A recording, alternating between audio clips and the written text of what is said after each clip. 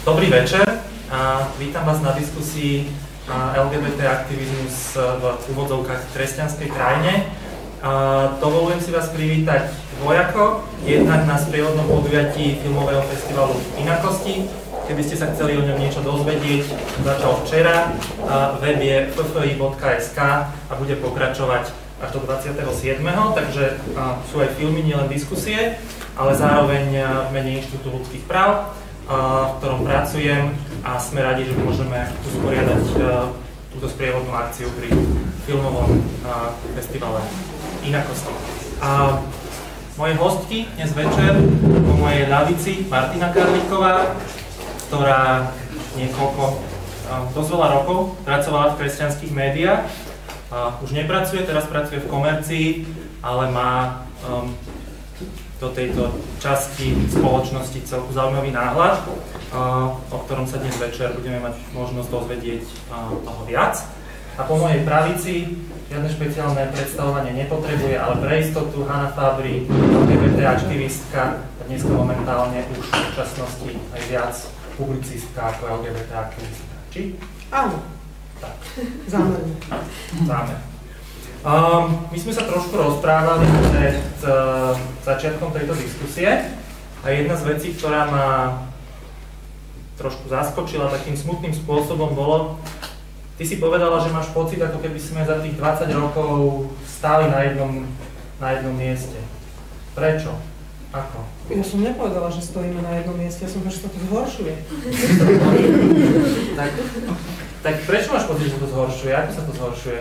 Ja myslím, e, že, že e, to nejaké nivo stavo, do ktorého sme, alebo v ktorom sme boli, povedzme do toho roku 1989, sa v roku 90 a ďalej začalo narúšať, a nemyslím len aktivizmom teplým, ale aktivizmom ako takým, lebo to tu, to tu neexistovalo, ten, ten typ aktivizmu, že uh, proste neexistoval. Uh, a my sme začali vytvárať po tom 89. taký ten tlak na, na a teraz teda to premostím k tým našim LGBTI právam, tlak na to, aby uh, LGBTI komunita mohla disponovať rovnakými právami ako zvyšok Slovenskej republiky a zvyšok populácie Slovenskej republiky, aby, aby sme požívali rovnaké práva a povinnosti smerom ku štátu a štát smerom k nám a k tretím osobám, ktoré sú tými zmluvami, ako majú povedzme heterosexuálne dvojice viazané.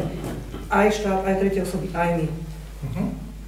A vlastne e, tam je tá otázka, že tým pádom, že my sme začali vytvárať nejaký tlak, a samozrejme ľudia, ktorí e, si myslia, že to nie je v poriadku, začali vytvárať protitlak a, a tie strety sú stále, mám dojem, za tých 20 rokov silnejšie a, dokonca sa domnievam, že sú veľmi, že sú vulgárnejšie, že sú arogantnejšie, že sú, a teraz to tak zlom poviem, že bohorovnejšie. Mm-hmm. No, k tým stretom sa ešte dostaneme aj, aj, aj k tomu tlaku, ale spýtam sa ešte Martiny jednu vec, keď sme vymýšľali názov alebo nejakým spôsobom zaslovenie tej tematiky, tak sme to nazvali, že LGBT aktivizmus v kresťanskej krajine. Ale ten, v tom názve je tá, je tá kresťanská krajina tak akože v lebo myslím si, že je to tak akože do diskusie v dnešnej dobe už že či je Slovensko kresťanská krajina alebo nie je kresťanská krajina, čo to vôbec je kresťanská krajina, čo to znamená, hovorí sa to. Ako to je podľa teba? Je, je Slovensko kresťanská krajina? Tak štatisticky zatiaľ áno. Mm, čo sa týka života každého človeka, tak to si akože netrúfam hodnotiť, ale teraz tá posledná udalosť, ktorú, akože, ktorá sa tiež teda s rôznym ohlasom, tak to bol práve ten pochod za život, tak tam sa ukázalo, že asi je kresťanská krajina, keď 80 tisíc ľudí, alebo možno plus minus aj viac. A niektorí uvádzali až do 100 tisíc proste je schopný sa zdvihnúť aj do tých košík. Čiže ja si dovolím tvrdiť, že, že asi zatiaľ sme kresťanská krajina. Mm-hmm. Aj keď ako ne, netvrdím, že, že vždy sa to v tom verejnom živote odzrkadľuje, alebo v mm-hmm. konkrétnych postojoch konkrétnych ľudí, ale tak štatisticky zatiaľ to tak vyzerá. Mm-hmm. Môžem hneď k tomu no, zareagovať? Uh, za prvé, Slovenská republika z ústavy vyplýva, že nie je kresťanská ani na žiadnu ideológiu zviažené. Oficiálne, oficiálne Slovenská republika sekulárnym štátom napriek tomu, že finančne cirkvi podporuje. Ale podporuje povedzme mimovládne organizácie, keď iným spôsobom, ale to už to je iná téma. Druhá vec je 80 tisíc. Je jedno, či to bolo 60 alebo 100 tisíc. V každom prípade sa bavíme o niečom, kde sa bavíme o väčšine. A keby sme teraz išli len po číslach, len po číslach, tak pokiaľ viem ku katolíckej alebo teda ku kresťanstvu sa u nás hlási asi 60 Áno, 5% obyvateľstva, čo je tuším nejak 3,5 milióna ľudí. Z toho 3,5 milióna tých 80 tisíc je koľko percent B. Jasné. A keby, sme, keby sme len porovnávali, hej, že to isté, že teraz zoberme za Bernú mincu 4% obyvateľstva LGBTI a bolo povedzme 2000 ľudí aj so spriaznicami, na Prajde, tak to vychádza tiež iba 2%, čiže toto není relevantné. A ďalšia vec je, keď sa bavíme o ľudských právach, predsa sa nemôžeme baviť o tom, že väčšina bude rozhodovať o neodňateľných právach menšiny. To nejde, nehovoriac o tom, že menšina čiste z toho, že je menšina, nemá šancu mocensky ovplyvniť rozhodovanie väčšiny. Čiže tam naozaj sa musíme baviť o tom, že vôbec sa nedá porovnávať číslami. Isté.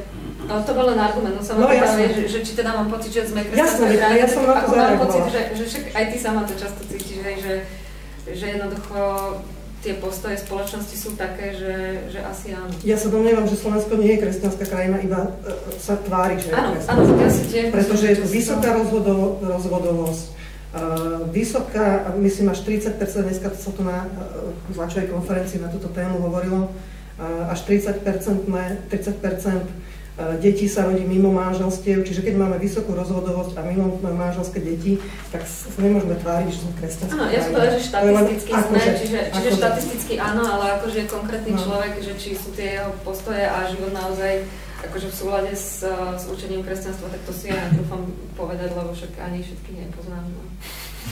To je no, pravda. Ale povedala si, povedala si že, že, že, že zdá sa, takže asi tam vidíš nejaký rozpor medzi tým deklarovaným a tým tým, alebo... Tak uh, ako keď sme sa bavili aj, aj, aj predtým, však s Hankou sa stretávame často, že chodíme spolu behať a tak, takže uh, problémom tejto spoločnosti možno ani nie je, lebo bavíme sa o aktivizme v kresťanskej krajine, hej, že Uh, to by sme si museli proste rozmeniť celkovú situáciu v našej spoločnosti, že na tzv. pravicu, na tzv. lavicu. Tzv. lavica je akože sociálna, čo je v podstate nezmysel, lebo súčasná v podstate akože sociálna politika nie je ani sociálna, ani demokratická a proste ani, ani to je proste jeden veľký chaos podľa mňa. Čiže, ale, ale ľudia akoby so sociálnym cítením majú väčšiu tendenciu sa združovať a robiť niečo spoločné. Kdežto tá akože pravica proste uh, pôsobí dojmom nejakého individualizmu, ktorý, ktorý sa o nič nezaujíma, proste žije v nejakom abstraktnom váku a zrazu tu máme strašne zanietených aktivistov za, za rôzne veci, ktorí sa často a radi oháňajú proste citátmi z Biblie, často a radi sa oháňajú biskupmi a často a radi sa oháňajú církvou. Lenže keď si človek proste podrobnejšie pozrie akože pozadie týchto skupín, tak vidí, že, že oni sa naozaj schovávajú len za nejaké náboženské kliše a v skutočnosti veľká väčšina z nich ani, ani proste nepricúpla k tej církvi, akože v tom pravom slova zmysle, hej. Čiže toto treba rozlišovať. Podľa mňa treba rozlišovať naozaj to kresťanstvo čisté ako také a treba rozlišovať tie, tie skupiny, ktoré sa okolo toho zgrupujú a ktoré sa tvária, že sú kresťanské a robia ten dojem. Lenže človek, ktorý sa tým hlbšie nezaoberá, tak to často nevie rozlíšiť. Okay. Um, kúsok naspäť, ale naviažem na to, čo povedala Martina. Uh, objavili sa tu nejaké skupiny, nejakí aktivisti, minimálne sami sa nazývajú aktivisti, ale nejak tak ako keby zo zeme vyrastli zrazu. Keď pred tromi, 4 rokmi, už to sám presne pamätám, sme prvýkrát organizovali Pride, máš to krásne príčko teraz na sebe, tak ehm, tá opozícia voči tomu bola taká, diplomaticky to poviem, že chabá, až, až žiadna. My sme očakávali popravde niečo také ako zásadnejšie. A, to, a jediné, čo sa také zásadnejšie stalo, bolo, že nejaká mini demonstrácia e, e, k daždi, tam, tam pár ľudí sa modlilo a až, až mi ich tak bolo ako trochu ľúto, že teda ako fakt na Že mokli rovnako ako my. No, a teda prvý rok sme nemokli, prvý rok sme nemokli. Je to bola tá, to bola tá, to bola, keby som nebol ateista, tak by som si myslel, že to je tá spravodlivosť. A, ale zrazu teraz, nejak akože, Češi by povedali, s šiškem po funuse, ale teda o to, o to, o to akože silnejšie sa teraz snažia nejakým spôsobom dohnať uh, to, čo zameškali. Čo si myslíš, že sa stalo? Že, že prečo zrovna, ne, povedzme, tento rok je to také intenzívne, alebo No, e, zaprvé, e, oni nevznikli len tak, tí aktivisti, tak ako my e, majú právo sa vyjadrovať k veciam verejným a my vnášame naše témy do verejného priestoru, takže každý má plné právo sa vyjadrovať. Druhá vec je, čo hovorí a k čomu sa vyjadruje, to je iná téma. A že prečo, to som už na začiatku povedala, že, že keď my vytvárame nejaký tlak, vytvára sa aj protitlak. Čím väčší je tlak z jednej strany, je, je silnejší tlak aj z druhej strany. To je normálne zákon akcie, reakcie, to už pán Newton by nám bol vysvetlil. Ale ja sa domnievam, že, že je, je posun, predsa len je posun. A ten, ja si myslím, že je v tom, že uh, mám dojem, že tie skupiny, ktorým sa nepáči, že by tu nejaké liberálne zmýšľanie uh, mohlo byť uh, súčasťou právneho systému Slovenskej republiky zistili, že ako keby zameškali časť Európy, ktorá má registrované partnerstvo, ktorá má mnohé e, liberálne zákony a ako by im došlo, ja si to, to len fabulujem, to si vymýšľam. Ako by prišli na to, že, že pozor, tam sme to nestihli, tak musíme pôsobiť preventívne, aby v tom zvyšku Európy sa toto nepodarilo a že to je normálne sofistikovane premyslená taktika, uh, akým spôsobom, kto, kde, uh, som sa tak koľkokrát, bude, bude proste pôsobiť uh, na to, aby, aby ten verejný diskurs roz, nielenže rozložil, ale zahltil, zahltil svojim názorom a vytváral zdanie, že to je názor celej spoločnosti v prospech celej spoločnosti, čo nie je pravda samozrejme. Teba som sa chcel... Pretože minimálne môj prospekt to nie je, takže to nie je celé spoločnosť. Na to by sme sa asi zhodli tu viacerí. A iba som sa ešte chcel spýtať uh, na tých kresťanov, ale predtým veľmi stručne tá istá otázka, uh, čo som mal na Hanu, lebo niektorí uh, z týchto ľudí, ktorí teraz vytvárajú tie tzv. alternatívne médiá rôznymi falošnými názvami a tak ďalej, pofidernými, tak pôsobili bola kedy v cirkevných médiách aj niektorých, ktorých si ktorých si fungovala ty. Aký máš názor na to, že, že teraz sa tak akože objavili a tak masívne No ty začali... si sa spýtal, že prečo, prečo posledný rok sa to tak rozmohlo, tak ja som mala na jazyku odpoveď, že pretože istých ľudí vyhodili proste z istých katolických médií, v ktorých teda tak ako teraz nadávajú na, na neviem koho, lebo ich akože pre svoje psychické zdravie a proste v rámci nejakej psychohygieny nevnímam, nepočúvam, nezaoberám sa nimi, tak v tých kresťanských médiách sa istý redaktor, ktorý teraz akože vedie jedno takéto médium, nazýval, že je prostitútkou, ktorá za prachy robí to, čo nechce v mhm. katolickom médiu. Proste biskupy boli pre ňoho čo Takže teraz sa oslobodil od tej náboženskej retoriky a prešiel k nenávisti ako takej a teraz proste môže fabulovať a konšpirovať akože v širšom spektre, takže už to nie je len v rámci cirkvi, takže asi, asi preto. No. Mm-hmm. A, ale... A teda zhromaždil okolo seba ľudí podobne. Vieš, to máš ako politické strany, proste politik, politik vždy zastrešuje uh, názor nejakej skupiny. Napríklad si zober slotu, hej, máš proste nejakých ani sa nechcem vyjadrovať akože, ako zmýšľajúcich ľudí, ale proste oni sa, oni sa s tým slotom identifikujú a majú pocit, že, že za neho sa môžu skryť, tak za ním jednoducho idú. Mhm. Ale vieš, to nie je preto, že ten politik to vytvára, to, uh, jednoducho je to preto, že takí ľudia tu sú a oni sa len tak prirodzene ako zhromažďujú. A to vnímam ako väčší problém celkovo, že, že ako aj Hanka povedala, že preto jednoducho to v tejto spoločnosti ide dole vodou, pretože u nás klesá celkovo schopnosť kriticky myslieť na Slovensku a nielen v oblasti ľudských práv, ale globálne. Čiže ako mm, mne sa zdá aj také zbytočné baviť sa o, ako nie, že úplne zbytočné, ale e, dôležitejšie ako baviť sa o nejakých parciálnych problémoch je baviť sa globálne o slovenskej spoločnosti, ktorá sa naozaj dostáva do vážnych problémov. Mm-hmm. No, môžeme sa tam dostať, možno sa tam dostaneme, ale ešte zostaneme teda pri tom LGBT aktivizme uh, v kresťanskej krajine v úvodzovkách, či už áno alebo nie. Z toho, čo si pred malou chvíľou povedala, som mal pocit, uh, ako keby um, bola taká tá nejaká hlavná oficiálna církev, potom odštiepenecké skupiny alebo také niečo? Pochopil som to správne? Ako je tam to názorové rozloženie? Vieš ono, ja ti to vysvetlím napríklad, alebo teda na, na príklade kauzy Bezák, ktorú sme mali možnosť nedávno sledovať. Uh, jeden odvolený arcibiskup v podstate dokázal spôsobiť to, že, že slovenskí veriaci zrazu začali spochybňovať autoritu pápeža, začali spochybňovať biskupov, začali... Um, proste vytvárať takisto konšpirácie, že kto je za tým a dokonca tu boli také názory, ako by samotný Zvolenský, monsignor Zvolenský chodil za papežom a proste tajne mu strkal do vačku nejaké papiere, že Zvolenský je nejaký biskup? Um, arcibiskup. To ja čiže, čiže takáto paranoja tu je v tejto krajine. Uh, namiesto toho, aby jednoducho tí veriaci naozaj keď toho pápeža uznávajú a keď sú naozaj, naozaj uh, kresťansky zmýšľajúci ľudia oddaní cirkvi, tak proste to rešpektujú a, a určite žijú s tým vedomím, že pápež by predsa neodvolal arcibiskupa len tak, lebo sa proste zle vyspal.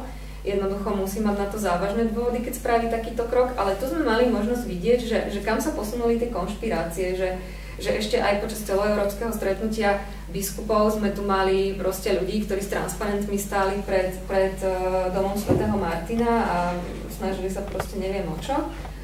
A... Na tých transparentoch bolo čo?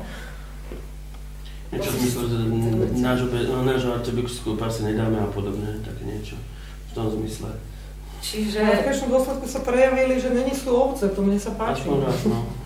No, nie sú ovce, ale zase len v mocenskej, mocenskej spoločnosti. Vieš, že, že tiež to vyzerá, že, že, že v podstate, Čiže, že potom sa báme o tom, že, že kto sú veriaci, hej, že jednoducho tá církev je nejako hierarchicky usporiadaná a keď má proste problém niekto to rešpektovať, tak eh, je otázne, že do akej miery sa s ňou identifikuje. No veď tam som sa práve chcel dostať, lebo um, našou, našou primárnou témou je teda eh, LGBT aktivizmus, nie nejaké vnútro církevné problémy, tie nech si riešia alebo neriešia a rozídu sa v dobrom, to je ich pokoji. domov, to osobne by mi nejak špeciálne nevadilo, ale um, že nakoľko sa tá, tých 60%, to ohromné množstvo ľudí, uh, ktoré v poslednom čítaní obyvateľstva povedali, že patria k niektorej z tých kresťanských siek, katolíckej, luteránskej, nejakej inej, Uh. No, ako tie jednotlivé pravdy, čo kresťan, kresťanské, to ja myslím, že to je to isté. Um, um, že, že nakoľko sa oni stotožňujú s takouto nejakou fundamentalistickou, rigidnou no, teóriou toho, že... Tomu som sa práve chcela dostať cez toho bezáka, že jednoducho, uh, neviem, či ste postrehli, ale aj pred tým pochodom za život, uh, keď sa začali na, hlavne na Facebooku, tak, tak uh, intenzívne hromadiť tie reakcie také nenávisné z oboch strán, lebo kto nebol na pochode za život, tak je, ja neviem, bolševík, tak takisto aj mne povedali, že som proste marxistka a bolševík. Ty tam nebola? Ja som tam nebola, ja som bola na, na duhovom prajde. Uh, a sám monsignor Zvolenský, arcibiskup, teda um, normálne verejne dal svoje stanovisko, že, že, jednoducho sú tu rôzne názory na obidvoch stranách a preto prosí ľudí, aby diskutovali s úctou a rešpektom voči druhej strane a jednoducho sa KBSK alebo teda biskupy dištancovali od akéhokoľvek násilia. A myslím si, že aj teraz uh, Dominik Duka z Čiech uh, dal veľmi pekné vyhlásenie, kde sa zastal napríklad Rómov a povedal, že sú súčasťou spoločnosti, čiže církev sa snaží tlmiť práve že ten extrémizmus, kdežto niektoré skupiny olepené tými bieli, bielými dvojkryžmi to proste nerešpektujú. Čiže ako tie vnímam ako väčší problém, hoci sa tvária, že, že chcú blahorečiť či svetorečiť pomaly mučeníka Jozefa Tisu a podobné, ale ako všetky, všetky tieto vyjadrenia proste sú smiešné, hej, církev sa od nich naozaj dištancuje proste vo svojich vyjadreniach, takže mm-hmm. prečo to vzniká, to asi súvisí so situáciou na Slovensku, jednak akože vzdelanie, úroveň vzdelania nám tu každý rok klesá, to, čo vychádza zo školských hlavíc, často vidíme, akože v tom celospoločenskom kontexte, takže ja si skôr myslím, že naozaj, že, že tu nás sa niekde rodí ten extrémizmus. Mm-hmm. Tej zlej situácii. Si hovorila o tom extrémizme, si sa posúvala do toho, do toho negatívneho, to samozrejme musíme zvažovať, lebo je to tu, žijeme, žijeme tu, pred pár mesiacmi bola posunutá stratégia ľudských práv, niečo, čo sme si pred nejakým rokom alebo dvomi nevedeli proste predstaviť, že na základe nejakého trolovania, spamovania by sa mhm. niečo také závažné posunulo. Takže musíme s tým rátať, ale keď robíme aktivizmus, ale teraz som sa chcel posunúť skôr k tomu, niečom, k tomu niečomu pozitívnemu, že Um, nakoľko z tých 60% populácie si myslíš, že koľko tých ľudí svojich skúseností, lebo ich máš veľa, alebo minimálne podstatne viac ako niekto ako jak to e, rozdiel medzi kostolom, mešitou a synagogou, tu je taký veľmi ako ne, neistý pre mňa, tak uh, že, že koľko z tých ľudí podľa teba má skutočný problém s LGBTI ľuďmi, s, s, so zavedením povedzme inštitútu manželstva pre ro, eh, páry rovnakého pohľavia s adopciou detí. A, a, a, a teda naopak, ak to môžeš nejako kvantifikovať, skús to skúsenosti, hej, toto, na tvoj názor sa pýtam, koľko je proti, alebo, alebo v prípade koľko je taká nejaká mlčiaca, nerozhodnutá väčšina, alebo... Mm-hmm. Kvantifikovať ti to neviem, lebo ako štatistické nejaké údaje som si ani nepozerala, ani nezisťovala, ale akože čo sa týka inštitútu manželstva uh, ľudí s sexuálnou orientáciou, tak tam určite veriaci ľudia nie sú za, ani, ani, ani církev, ani myslím si, že nikdy nebude, že v tomto je proste akákoľvek snaha o reformu církvy, ako si často ľudia hovoria, hej, že, že vidíme, že církev by sa mala zreformovať, no v tomto sa nezreformuje. Proste jednoducho je to jej stanovisko, ktoré ktoré bolo, je a bude vždy asi rovnaké. Nie asi, ale to s veľkou pravdepodobnosťou určite. A ako s toleranciou na tej individuálnej úrovni myslím si, že uh, tí veriaci ľudia, s ktorými prichádzam ja do kontaktu, uh, s tým problém nemajú. Dokonca ani kňazi s tým problém nemajú, sú um, otvorení a kedykoľvek mnohí z nich akože hovoria, že, že keď za nimi takíto ľudia prídu, sú ochotní sa im venovať, sú ochotní normálne sa s nimi rozprávať, ak majú problémy pomôcť im, tak uh, ako, ale štatisticky ti to naozaj neviem povedať. Ale, ale, ale viem, že sú aj takí, ktorým, keď povieš slovo homosexuál, alebo LGBTI, alebo lesbička, alebo proste ja neviem, tak, tak e, očervenajú, zláknú sa a začnú, že to nemôže, začnú úplne hystericky reagovať, ale ja si myslím, že to je skôr, skôr nevedomosť, že jednoducho oni sa nikdy mm, proste s takýmto človekom ani nestretli a majú veľmi skreslené nevedia predstavy na základe, alebo nevedia o tom, ale majú veľmi skreslené predstavy na základe toho, že aj duchové prajdy sa proste predstavujú, takže že sa tam poskávajú nahý ľudia, polonahy a neviem čo a tak a na základe toho oni si myslia proste, že, že človek s inou sexuálnou orientáciou za nimi proste príde polonahy a začne ich tam boskávať, asi neviem. Mhm. Čiže to, je to skôr strach z nevedomosti, ako keby, a, ako nejaký reálny No, ja som to otázkou smeroval tam, že pred chvíľočkou si povedala, že uh, jeden odvolaný uh, arcibiskup dokázal spôsobiť, že ľudia začali, uh, kresťania a katolíci, nejak ako pochybovať o autorite pápeža, začali pochybovať o hierarchii církvy, mali tam nejaké transparenty na tej konferencii európskej, čo si spomínala a tak ďalej a tak ďalej. Tak tam som práve smeroval, že máš pocit, že hovorí sa, my sme to dali do toho názvu, že možno je Slovensko kresťanská krajina, že je tá viera taká silná, pevná, alebo naozaj taká strašne zakorenená, ako sa proste hovorí, keď takéto niečo sa môže stať. Že prečo sa nemôže stať, alebo prečo sa to nestane opäť o 10 rokov, či to nie je plauzibilné podľa teba, že rovnako sa tí ľudia vykašľú na tú autoritu cirkvi, že cirkev bude stále rozprávať manželstva, LGBT ľudí nie, rovnako pohľavné adopcie nie, nie, nie a, a proste ľudia sa na nich vykašľú. Akože nevylučujem, že niektorí sa na nich vykašľať môžu, tak ako zase naopak iní sa k ním pridajú a začnú tú autoritu rešpektovať, akože to nikdy nevieš určiť, že, že ak, ako sa tá spoločnosť vyvinie v podstate, lebo ako na, na takéto veci vplýva vplývajú rôzne faktory, že kedy sa človek buď rozhodne, že v cirkvi zostane, alebo teda sa dá do nej pokrstiť, lebo však robia to aj dospelí ľudia, hej, že nie je to len tak, ako niektorí z tej cirkvi odchádzajú, tak zase niektorí tam aj dospelí v podstate vstupujú. Ale vlastne to som aj chcela povedať, že, že tam je otázne, že nakoľko, nakoľko tieto, tieto veci vyvolávajú ľudia, ktorí sú naozaj veriaci a žijú s tou cirkvou a nakoľko sú to ľudia, ktorí napríklad uh, to vyslovene robia len tak, lebo sa im chce, lebo proste s tou církou často ani nežijú, ani... A veľa napríklad aj, aj keď som diskutovala často na Facebooku, akože snažím sa, tak uh, veľa ľudí aj v tej kauze bez ak proste boli to také argumenty, že vieš, ja do kostola nechodím, ale toto máš štve, hej. Čiže akože to sú skôr takí ľudia zvonku väčšinou, ktorí ako majú potrebu to nejako riešiť. Tak o jedného nezamestnaného viac, no. Nezamestnaný arcibiskup. Um, Hanna, ty si asi nebola na pochode za život, že? Nestihla som.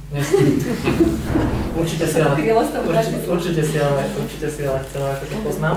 Um, bola si na Prajde, keďže sme sa tam stretli. Ten som stihla. Ten si stihla. Um, keď, keď počúvaš Martinu a sleduješ tú situáciu, napriek tomu, že si sama teda na začiatku povedala, že už si menej aktivistka, ako si bývala, tak situáciu sleduješ. A okrem toho, čo si povedala na začiatku, to bolo také celku negatívne, ale od toho to negatívne, tak to, to sa si treba iba odraziť. A potom, čo povedala... 20 rokov sa odrážam. A? Ale veď... Ja som len tak ako... No. Trápne som ti skočila do reči, pokračuj. Tak ale zase nie, nie, nie za tých za 20 rokov ako aj dosiahlo, či? Máš pocit, že nie? Nie, lebo ako, vieš, keď akože máš pocit, že, že sa naozaj proste za tých 20 rokov nič nezmenilo. Ale nie, nie, to, to, ale išiel som poloviť otázku, poloviť otázku a... Áno, lebo možno mám... Som ti skočila. Možno mám rúžové okuliare, obľúbená farba, takže aby som splňal stereotypy. Um, no otázka, že, že kam by sme sa od, od tohoto mohli podľa teba odraziť do budúcnosti? Aký je, aký je tvoj názor na to, čo sa teraz deje? Lebo ja mám pocit, napríklad to, čo sa stalo so stratégiou ľudských práv, ty si dneska bola na tlačovke, o ktorej si rozprával ešte pre diskusiou, takže môžeš kľudne spomenúť aj, čo sa udialo dnes. Ale že sa to tak ako udialo, tak ako hodne neskoro, tak, tak, tak hodne málo, že či sme ako tak aj my trošku nezaspali a že čo máš pocit, že by sa malo urobiť, to mohlo v takejto situácii, ktorá je už hodne teda vybičovaná. Ja som hovorila, že zabudnem otázku. Čo si sa pýtal? čo, by, čo, by sme, čo, by si, čo si myslíš, že by sa dalo robiť v súčasnej situácii? A no. moja taká nejaká súka bola, že sugestívna mierne, že či sa toho náhodou nerobí málo zle a pomaly. No ja sa v prvom rade by som naviazala na to, čo Martina hovorila, že, že církev má také alebo onaké názory. No ja sa domnievam, že svetskému štátu, akokoľvek si môže církev vážiť, by to malo byť jedno. Pretože církev nie je, nie je tvorkyňou právneho systému. A právny systém má reflektovať menšiny tej krajiny, v ktorej tie menšiny žijú. A tým pádom, pokiaľ v tej krajine je nejaká menšina, ktorá má pocit, lebo o to je, že nie sú naplnené jej práva, a ten štát by mal výsť tej menšine v ústrety a tie práva naplniť, zvlášť keď tie práva nikoho neobmedzujú. My nikoho nechceme obmedzovať, naopak z druhej strany mám pocit, že ten tlak obmedzovať náš život, a ja to vždy stiahujem na seba, lebo to je najjednoduchšie, že niekto chce obmedzovať môj život. Ja nikomu nechcem život obmedzovať, ale mám neustále pocit tlaku, že niekto chce, aby som ja žila tak, ako on si myslí, že mám žiť, nie aby som ja žila, ako ja chcem. Pritom ja nikomu neubližujem. Ani nikoho neubližujem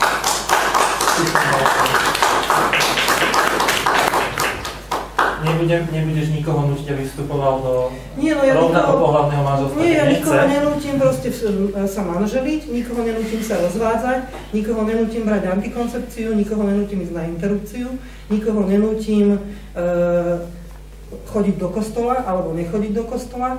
E, jednoducho nerobím z jeho života peklo. Ale ja mám pocit, že z môjho života proste niekto neustále sa snaží robiť peklo už tým, ako sa ku mne chová. Nie len to, čo chce dosiahnuť, ale aj ako to robiť.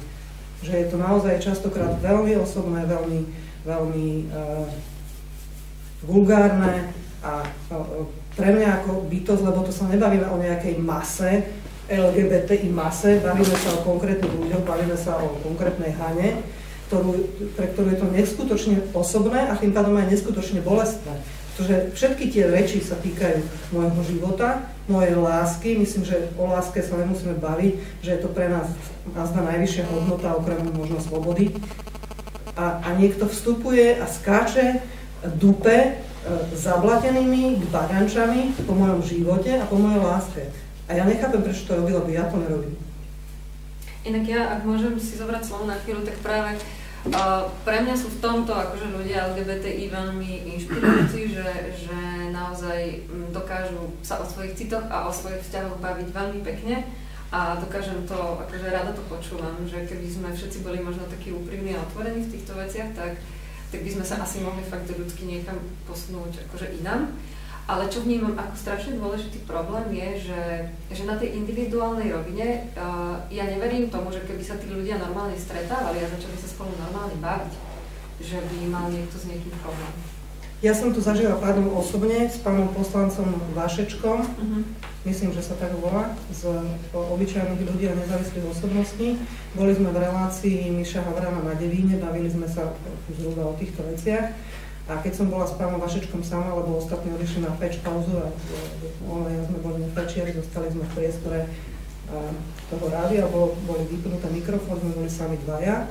A ja som zvyknutá, že pokiaľ položím niekomu osobnú otázku, že väčšinou mi nemá odvahu do očí po, po, povedať to, čo by mi napísal povedzme v diskusii niekde pod článkom e, v, novinách na Facebooku.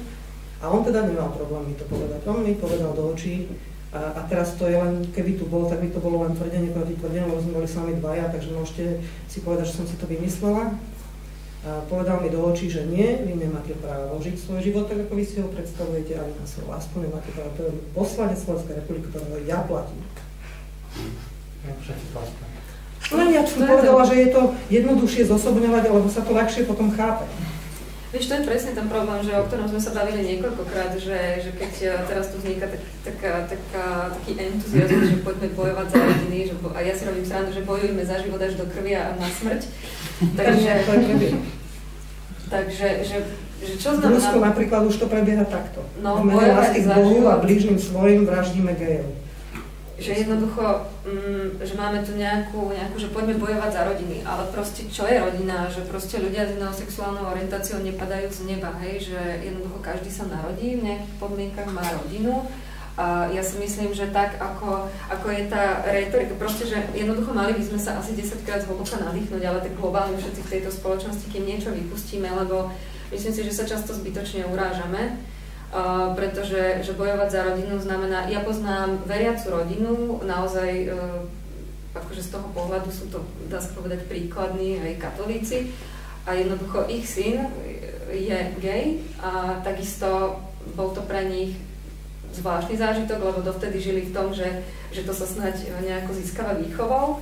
A zrazu zistili, že to tak nie je, takže sa s tým tiež rôzne vyrovnávali a mm, akože vtedy si až uvedomili, že aké boli tie pohľady okolia.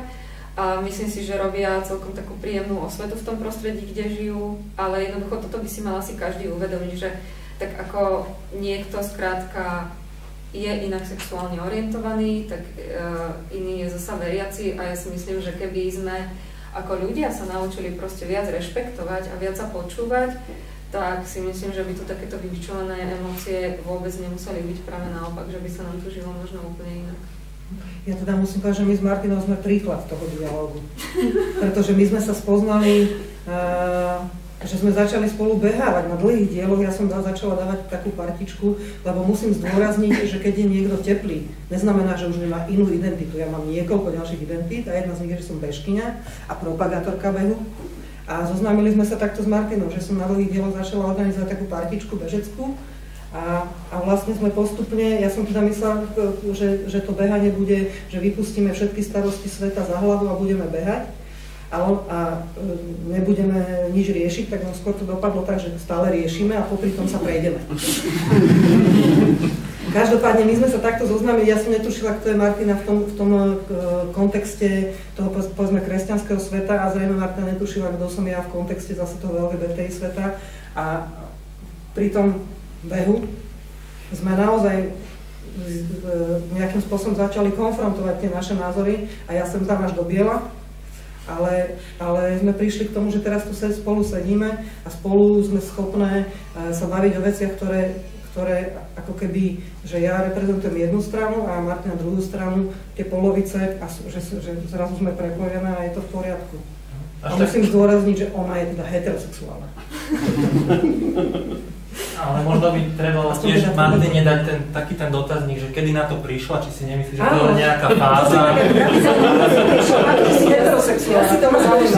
A že, že či to náhodou nie je tým, že si nestretla tú správnu ženu. Prípadne by ma zaujímalo, ako sa s tým vyrovnali tvoji rodičia. Presne, presne. No, chvíľami si tak stačíte, že ma ani nepotrebujete. Tak mi boli No, tak teraz tak cítim, jak Švajčiarsko. Um, ale keďže máme takú peknú, peknú účasť uh, hostí, čo je skvelé, tak uh, im dám priestor, len si dovolím ešte poslednú otázku. Um, trochu až nerad, keď sme tak ako teraz sa zasmiali, ale je to niečo, čo ma kvári. Ty si to už mierne zaslovila s tým Ruskom. Um, nebudem tu teraz zachádzať do detajlov, keby niekto mal záujem, tak mimo iných web stránok aj na našej ľudské práva SK je toho o tom, čo sa deje v Rusku, tak akurát uh, dosť. Ten trend, ktorý sa tu udial, povedzme za posledný rok, rok a pol alebo niečo podobné, vyzerá to naozaj, že sa to stále, ak nezhoršuje, tak je minimálne tá atmosféra stále vypičovanejšia a vypičovanejšia. Uh, máš pocit alebo máš obavu, že by sme sa mohli dostať niekam tam? No, tomto prípade u mňa funguje také, ja to nazvem, že, že alibizmus, že keby náhodou bol, tak nech nezakríknem zlom a nemalujem četlo na stenu, tak ja hrozne, hrozne nerada by som si myslela, že sa môžu nejaké e, násilné skutky udeť na Slovensku, ale obávam sa, že tá atmosféra k tomu môže dospieť a práve preto sa domnievam, že ten štát je povinný povedať, že odtiaľ to, potiaľ to a že to nie je prípustné. Martina, tá istá otázka s tým, že poznáš, povedzme, do nejakej miery tých, z môjho hľadiska, fundamentalistov. Máš pocit, že majú aj nejaké, a, nejaký, nesprávne slovo, možno násilný potenciál, alebo... Tak uh, ako vo mne rezonujú ešte stále slova premiéra Slovenskej republiky, ktorý sa proste nenával vyjadriť súčasného, že Rómovia nám prifarbujú nezamestnanosť. Hej, a jednoducho, keď premiér Slovenskej republiky dokáže z úst vypustiť toto verejne, tak ja sa tu naozaj bojím všetkého v tejto krajine. A bojím sa nielen kvôli menšinám, ale teda kamarátku máme, Denisku nie, že máme tu proste ľudí, ktorí sú Rómovia, ktorí sú proste, no ja sa tu bojím, ako ja, a to sa ma v podstate netýka, hej, že, ale naozaj ja sa v tejto krajine proste bojím reálne, že čo, čo tu môže vzniknúť. Netajím sa tým. A samozrejme, že jedna menšina komukoľvek, jeden deň a iná, iná menšina druhý deň. To už nevie zaručiť podľa mňa nikto v tejto krajine, lebo tí politici naozaj, ja si preto myslím, že tu jediné, akože v čom sa môžeme spojiť, proste bez ohľadu na sexuálnu orientáciu a na farbu pleti, je nejaký boj za zdravý rozum v tejto krajine, lebo to nestane to asi pomaly teda odchádza. Ale vieš v konečnom dôsledku máš pravdu, že aj ja sa bojím.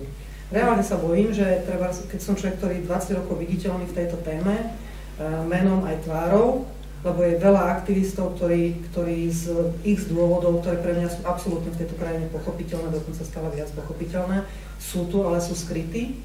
Uh, tak je fakt, že ja podvedome, keď idem, veľmi zriedkavo sa mi stáva, lebo ja som taká sliepka domáca, eh, že keď idem večer domov a niekto ide za mnou v bráne, fakt mám strach. A spojím si to s týmto. Ak toto je výsledok eh, tých, ktorí milujú blížneho svojho, že niekto sa bojí, tak nech sa páči teda, to ozaj ďakujem. No celkovo je to zlá atmosféra, ale nemyslím si, že, že naozaj to robia len, len veriaci, alebo teda cirkvi, ale robí to, proste robíme si to ako spoločnosť, ale neviem naozaj, že kde to Ale konkrétne v tejto mojej téme Mhm. väčšinou je to oháňanie sa v Bibliu. Mhm. Ako hovorí Derek Rebro, že buchnať do Biblie ešte nikoho, uh, teda buchnať Bibliu ešte nikdy nikoho uh, ne, nenapravil, skôr Mhm. proste osveta. Ja práve, že, že z tohto pohľadu vnímam zasa, že, že teda tú církev, ale teda s tým, s tým naozaj, s tým učením, že, že teda láska k blížnemu, ale taká naozaj nie takáto skreslená, že pre mňa je to práve, že som rada niekedy, že tu máme takú ako keby tú ručnú brzdu, lebo však keď si zoberieme, že aj za totality najhoršie v tých 50 rokoch, hej, že že čo tu bolo, tak ako ja zase sa s takou nádejou obraciam aj, aj voči cirkevným predstaviteľom, že, že teda budú tú situáciu pacifikovať. Ako, spolieham sa na to. Pre mňa je o to viacej nepochopiteľné, teda že církev, ktorá vlastne za toho sociku si zažila, že čo to znamená byť uh, veľmi ostrakizovanou a veľmi uh, utláčanou komunitou, uh, že práve, práve, alebo povedzme dobre, nie církev, ale z môjho pohľadu aj, samozrejme, uh, to robí inej komunite. Ako pre mňa to není pochopiteľné, že majú tú skúsenosť a robia to druhý, nerozumiem. Ono vieš, ja často sa napríklad tým, že teda uh, vnímam obidva tie svety, hej, ktoré často sú extrémne proti sebe zaujaté, aj v tých diskusiách to vidno, ja som napísala aj článok na smečku, že som bola na LGBT, proste na, na dlhovom práde, tak také reakcie som tam mala, že to som iba kúkala a proste tiež sa tam oháňali akože Bibliou a citátmi a neviem čím. Ale myslím si, že takisto ako sa pestuje extrémizmus voči ľuďom s inou sexuálnou orientáciou, tak sa proste neprimerane mm, pestuje aj voči cirkvi.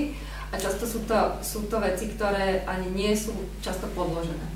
Lebo takisto ako o vás šíria fámy, tak takisto sa proste fabuluje aj o cirkvi, ale verím tomu, že keby sa tu podarilo nastoliť nejaký normálny dialog, akože ľudský bez emócií, takže že asi by sa to naozaj mohlo posunúť inám.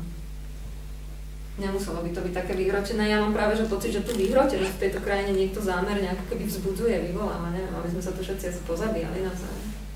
Dobre, tak teraz už naozaj posledná otázka. Um, pred nejakou dobou som bol v nejakom, nejakom rozhovore a ešte tam boli nejakí ďalší ľudia, ktorých nebudem menovať, lebo tu, tu teraz nie sú, sociologička, historička a tak ďalej. A názor zaznel, že tá situácia súčasná bola vyhrotená práve e, zo strany církvy, ktorá proste má aj finančné prostriedky na, na to, na PR agentúry a tak ďalej, pretože to, čo si spomínala aj ty, taká kauza e, Bezák, pošramotila obraz kresťanskej katolíckej církvy v slovenskej verejnosti a treba odvrátiť pozornosť od vlastného špinavého prádla, ktoré sa ako dostatočne dlho pralo stalo na verejnosti. Ako, neexistuje na to asi nejaký dôkaz, bol to názor. Um, znie to relatívne plauzibilne, čo by si na to povedala? Vieš čo, v kauze Bezák, um, ja som práve pôsobila v Banskej Bystrici v televízii Lux ako vedúca pobočky, takže ja som do niektorých vecí videla možno viac, ako by som chcela. A ja práve, že musím, hoci teda verejná mienka je taká, že monsignor Bezak povedal, že je obeťou nejakého sprísahania a konšpirácie, tak, eh, tak mu to všetci veríme, lebo to o sebe povedal, hej. Ale, ale kto pozná akože to pozadie, tak, eh, tak v podstate ja uh, si naozaj vážim biskupov, aj teda z Volenského, ktorý sa teraz naozaj stáva proste nejakým hromozvodom, za ktorým všetci tí novinári chodia a robia si z neho v podstate už fackovacieho panáka, tak ja si vážim, že je ticho, lebo ja tiež o tých veciach nedokážem hovoriť, lebo mám pocit, že je lepšie byť ticho, lebo tým nikomu neublížiš.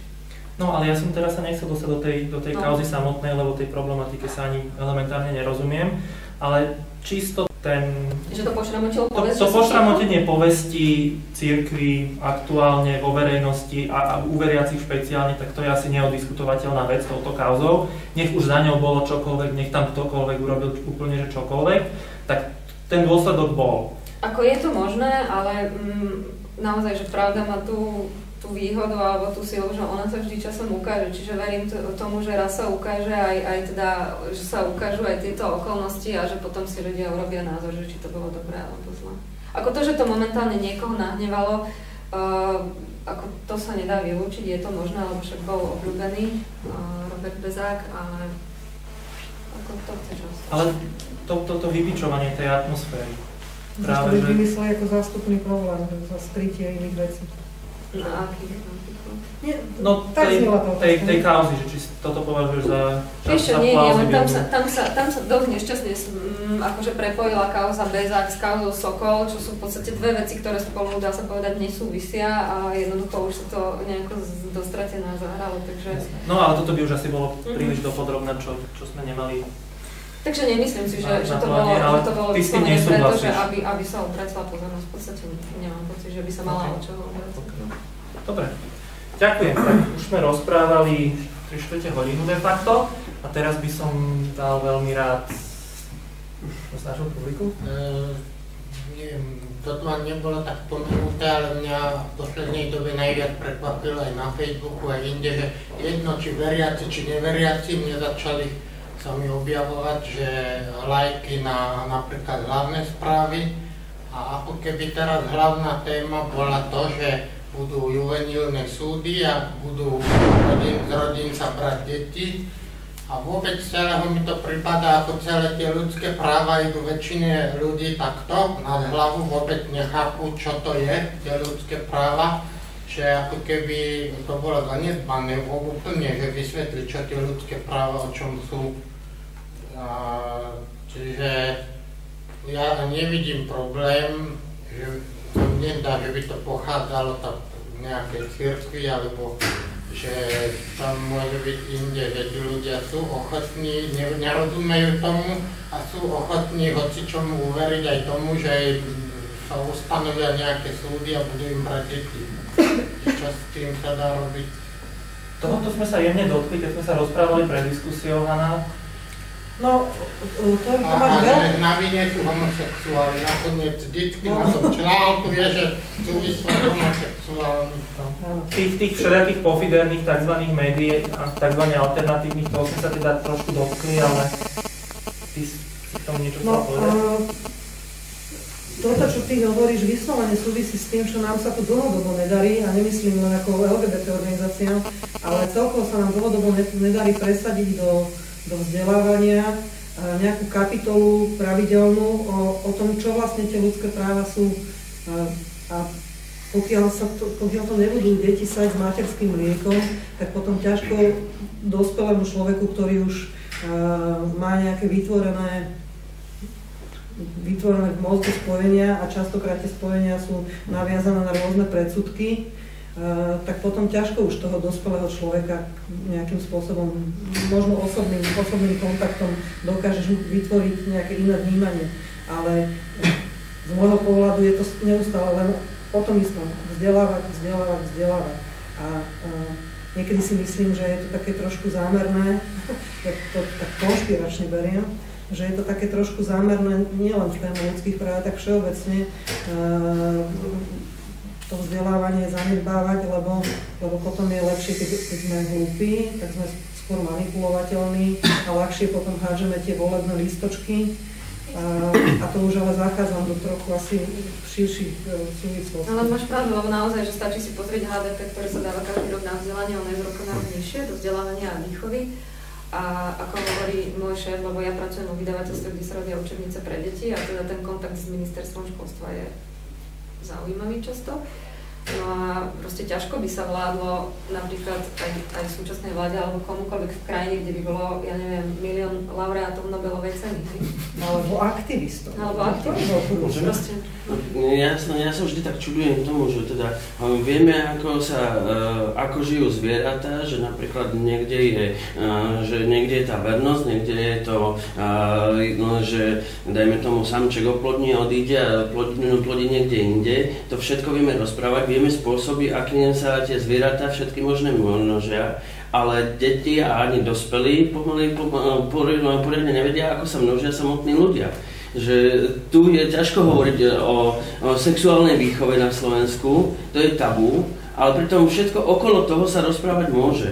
A k tomu patrí aj to, že e, veľakrát v, ja v diskusiách sa e, opieram do toho, že e, sa hovorí homosexualita sa rovná pedofilia, Pričom to nie je nebezpečné ani v tom, že ľudia si to zamieňajú. Pre mňa osobne toto až taký problém nie je ako to, že si neuvedomujú, že tým, že nevedia, čo pedofil môže urobiť dieťaťu a čo homosexuál môže urobiť dieťaťu. V tom ponímaní, ako je homosexualita a pedofilia, že homosexuál vôbec nemusí mať záujem ani len o tú výchovu detí, nielen o to, aby sexuálne bola čo s tým dieťaťom mal, tak pedofil už môže byť veľkou, veľkým nebezpečenstvom a zabúda sa na to, že pedofilia nie je vecou orientácie a môže to ísť na obie strany. Vtedy no, tí, ktorí hovoria o tej pedofilii, že teda áno, najprv homosexuáli, potom pedofili, alebo najlepšie naraz, zabudajú alebo zakrývajú práve problém tej pedofilie, čo tu čítame dosť často, teraz e, sa stalo niečo e, na záhori a tak a je mi jedno, či to urobil muž e, chlapcovi alebo dievčaťu alebo žena, to je jedno. Jednoducho sa tu zamieňajú tieto pojmy a hádže sa vlastne uchylka s orientáciou dokopy a um, aj tu by mala byť istá, uh, istá propagácia, aby sa rozoznali tieto pojmy a nebol v tom mm, nebola tá nenávisť voči obým dvom skupinám. Ja by som povedala, že, že v dnešnej dobe uh, deti nevedia, kde majú písať aké i a nezvládajú monitor 9, čiže toto, o čom hovoríš, je podľa mňa úplne niekde inde ako to, že jednoducho školstvo je v takom stave, Len, že... Ako učiteľ to môžem potvrdiť. ako, Ale že kto to, má, kto to má robiť, že majú to robiť učiteľia za 300 eur, ktorí sú... Vnášaš sem tému, o ktorej sa vám hovorí, že nesúvisí, tak Áno, sa na to ale vykašlíme. dovolíte, aby som niečo... ale, no, dobre. Že tu deti naozaj proste Nie, majú mne- mne tam vadí to- s kritickým myslením, nie ešte naozaj... Mne tam vadí to, že tu napríklad ani dieťa nevie rozoznať pohľadenie od sexuálneho zneužitia už pomaly. Že, no, i patrí to k tomu. No, to ja, ja veľmi, veľmi, veľmi nerad ťa prerušujem, ale naozaj musím súhlasiť s Hanou, že prečo by sme tu mali spomínať pedofilné trestné činy, keď máme takúto tému, prečo by sme nespomínali potom spreneveru, vraždy a mnohé iné veci, ktoré páchajú homosexuáli, heterosexuáli a, a učiteľ. Ja, mne strašne, ja viem, že, že primárne toto nie je téma, ale mi stále v hlave e, rezonuje to vaše slovné spojenie obraz cirkvy. Ten obraz cirkvy e, na Slovensku je už sám o sebe veľmi narušený a to nie len kauzou Bezák, ale všetkými tými, jak tu už, už tu bolo spomenuté, pedofilné škandály zo strany cirkvy celom svete a tak ďalej. Ale E, tá kauza Bezák, ona už sa odohrala podľa toho istého scenára, podľa ktorého sa odohráva tu, sa odohrala v susednom Rakúsku. Tam, tam e, v Rakúsku sa stalo to, že pápež, ešte bývalý pápež, e, dosadil proti vôli veriacich biskupa Krena do Sankt, Sanktpiltenskej e, arcidiecezy. A teraz mm, boli veľké demonstrácie vo Viedni v Sanktpiltene, veriaci tam proste e, demonstrovali svoju, svoj protest proti, proti biskupovi Krenovi. E, Pápež to ignoroval a e, niekto by povedal, že mali dôverovať proste pápežovi, že keď sa ten raz rozhodol, že, že to má tak byť, takže je to asi správne, lenže bol to práve ten biskup Kren, u ktorého, pod vedením ktorého vlastne prepukol ten škandál v Sankt Piltenskom seminári. Čiže um, Čo bol za škandál? Škandál. Ja som to nečítala. tí bohoslovci, e, tam, tam išlo o to, ako bohoslovci si nahrali na video, ako majú, majú sexuálny pohľavný styk so svojím teologická fakulta, hej, ako proste pohľavné aktivity so svojimi profesormi si to nahrali na, na video, zverejnili to niekde. A ešte mi našla policia potom kinderporno v počítačoch, proste obrovské množstvo detskej pornografie, to kvitlo v Sankt Piltenskom seminári a v ostatných seminároch. A keď, keď bol bis, e, rozhovor s týmto biskupom v televízii, aby ste si predstavili, to bol jeden 200-kilový pán, ktorý bol rozliatý na dvoch stoličkách, keď sa ho spýtala novinárka teda, že čo nám k tomu poviete, jeho odpoveď bola a ich je do toho hovno. Akože takto to komentoval pán biskup. Takže tu sa, tu to naplno prasklo. A koľko Aký- pedofilov na Slovensku ste postrehli? Ešte prosím. Že koľko pedofilov na Slovensku, akože sme mali kniazov? Ja osobne poznám ľudí, ktorí boli Lebo- zneužití kňazov, ale toto nie, Jasné. nie, nie, nie nechcem o tomto, ale že e, ten obraz cirkvy už, už je tak narušený, že už všetci vieme, že toto už padá dole, že to už je neudržateľné a tá, ten imič cirkvy a toto súvisí práve s tým, že narušenie obrazu cirkvy sa prejavuje vo zvýšenej, zvýšenej mm, útočnosti voči menšinám. Tým že, tým, že tá církev proste cíti, že, mm, že sa jej obraz nejako narúša, tak si to snaží vynahradiť akousi zvýšenou aktivitou a zvýšenou militant, proste vo väčšej miere militantnosťou tých svo- proste svojich prejavov voči, voči našej komunite, voči iným komunitám. E, proste inými slovami zdochýňajúci kôň kope. Asi Ale tak to by som. kontraproduktívne, lebo No. milým slovom skôr si niekoho Ja by som, ak môžem, uh, uh, jednak mali sme tu kauzu pedofilní františkáni. Viete, ako skončila tá Ale jasné, áno. Ale Čiže treba vždy veľmi dobre rozoznávať. Napríklad tento prípad sa priznám, že som ho, nevenovala som mu pozornosť, hoci viem, že sa nejaké 3 dní zdieľa na Facebooku. Zatiaľ som sa k tomu nedostala, čiže nebudem sa k nemu vyjadrovať, nepoznám okolnosti. Hej. Ale jednoducho vždy si treba, uh, vždy si treba uvedomiť, že, že čo je za tou kauzou. Napríklad ako sme tu mali pedofilných františkánov, tak sme tu mali obdobie, kedy pre, pre každého boli františkáni pedofily. Potom, keď sa ukázalo, že to bola v podstate spravodajská hra, tak jednoducho zrazu zostalo ticho, akože nikto tým, tým pedofilom hnusným nepovedal ani, že prepačte, že naozaj akože mimochodom teraz bola nejaká správička, hej, že nejaký kniaz a 12-ročné a dievčatko. Ale to sú, dobre, a toto nie sme tu kvôli na, Nie sme tu. naozaj zachádzame proste do veci, poprosím ťa stručne. Ale- zlé príklady ale- sa dajú vyťahovať No, na jasné. Tá podstata je tá militantnosť a ten si obraz, prečítať, no. treba si prečítať uh, veci, uh, jednoducho nás informujú médiá, akože Mhm. médiá informujú, sami vieme, že, že nie vždy asi tak, ako by mali. Čiže treba si vlastne overovať primárne zdroje vždy a ja, to, ja sa snažím vždy to robiť. A naozaj v našej krajine je pohľad aj na tú církev proste ešte dosť ovplyvnený období 50. rokov. Čiže ja vám môžem odporučiť napríklad knižky od Jozefa Halka, ktorý sa tým naozaj vedecky zaoberal. A ja sama, keď som si tie knižky čítala, tak som bola prekvapená, že kde sa niektoré názory a pohľady v našej spoločnosti berú, napríklad aj na cyrilometodskú tradíciu, na oslavy, na deviny a tak ďalej. Čiže ako treba si to overovať vždy, vždy v takýchto zdrojoch, ak chcete mať akože autentické informácie. Lebo fámy sa dajú vyrobiť ľahko, ja tiež môžem na niekoho povedať, že je to pedofil a neviem čo. Nie, nie, ale nie, pedofil, No, no, nechceme to. jasné. Pam, pamätám si, pamätám si, len A nesprávnemu človeku raka- ra- radíš, aby sa Jednu-. Akože je, Lebo je, nechcem sa vás nejako dotknúť. Nie, nie, nie, že dobrom, že, že Len ja som aby sme to ne- vždy neposun- prekvapená, že, že, že To, čo sa tu deje, ale stále fáma nie je. To, to čo Ale- sa tu deje, je reálne a ten militantný tlak stále cítime silnejšie a silnejšie. ale a niekde má korene. Nie, nie vždy musí A jedným z koreňov je práve ten narušený obraz cirkvy. čo tu zaznelo, um, otázka.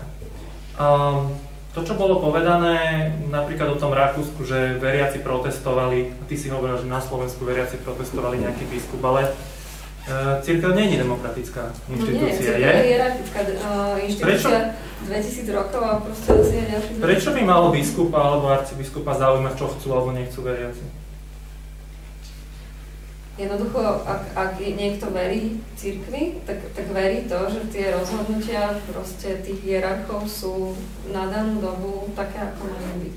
Takže No moja otázka. Ty si mal otázku? Keď bolo povedané, že e, vlastne za tým asi ani nestojí církev, ale niektorí ľudia, ktorí, dá sa povedať, prišli, odišli z médií a tak, ako si mám vysvetliť, že napríklad takú Gabriela Kuby, nebudem to tu rozvádzať, to jednoducho šíri nenávisť, preložili jej knižku, urobili jej turné e, po Slovensku, plné sály a tak ďalej, ako si mám vysvetliť, že z jakých pros- prostriedkov to bolo, keď to nebolo minimálne s tichou podporou cirkvi.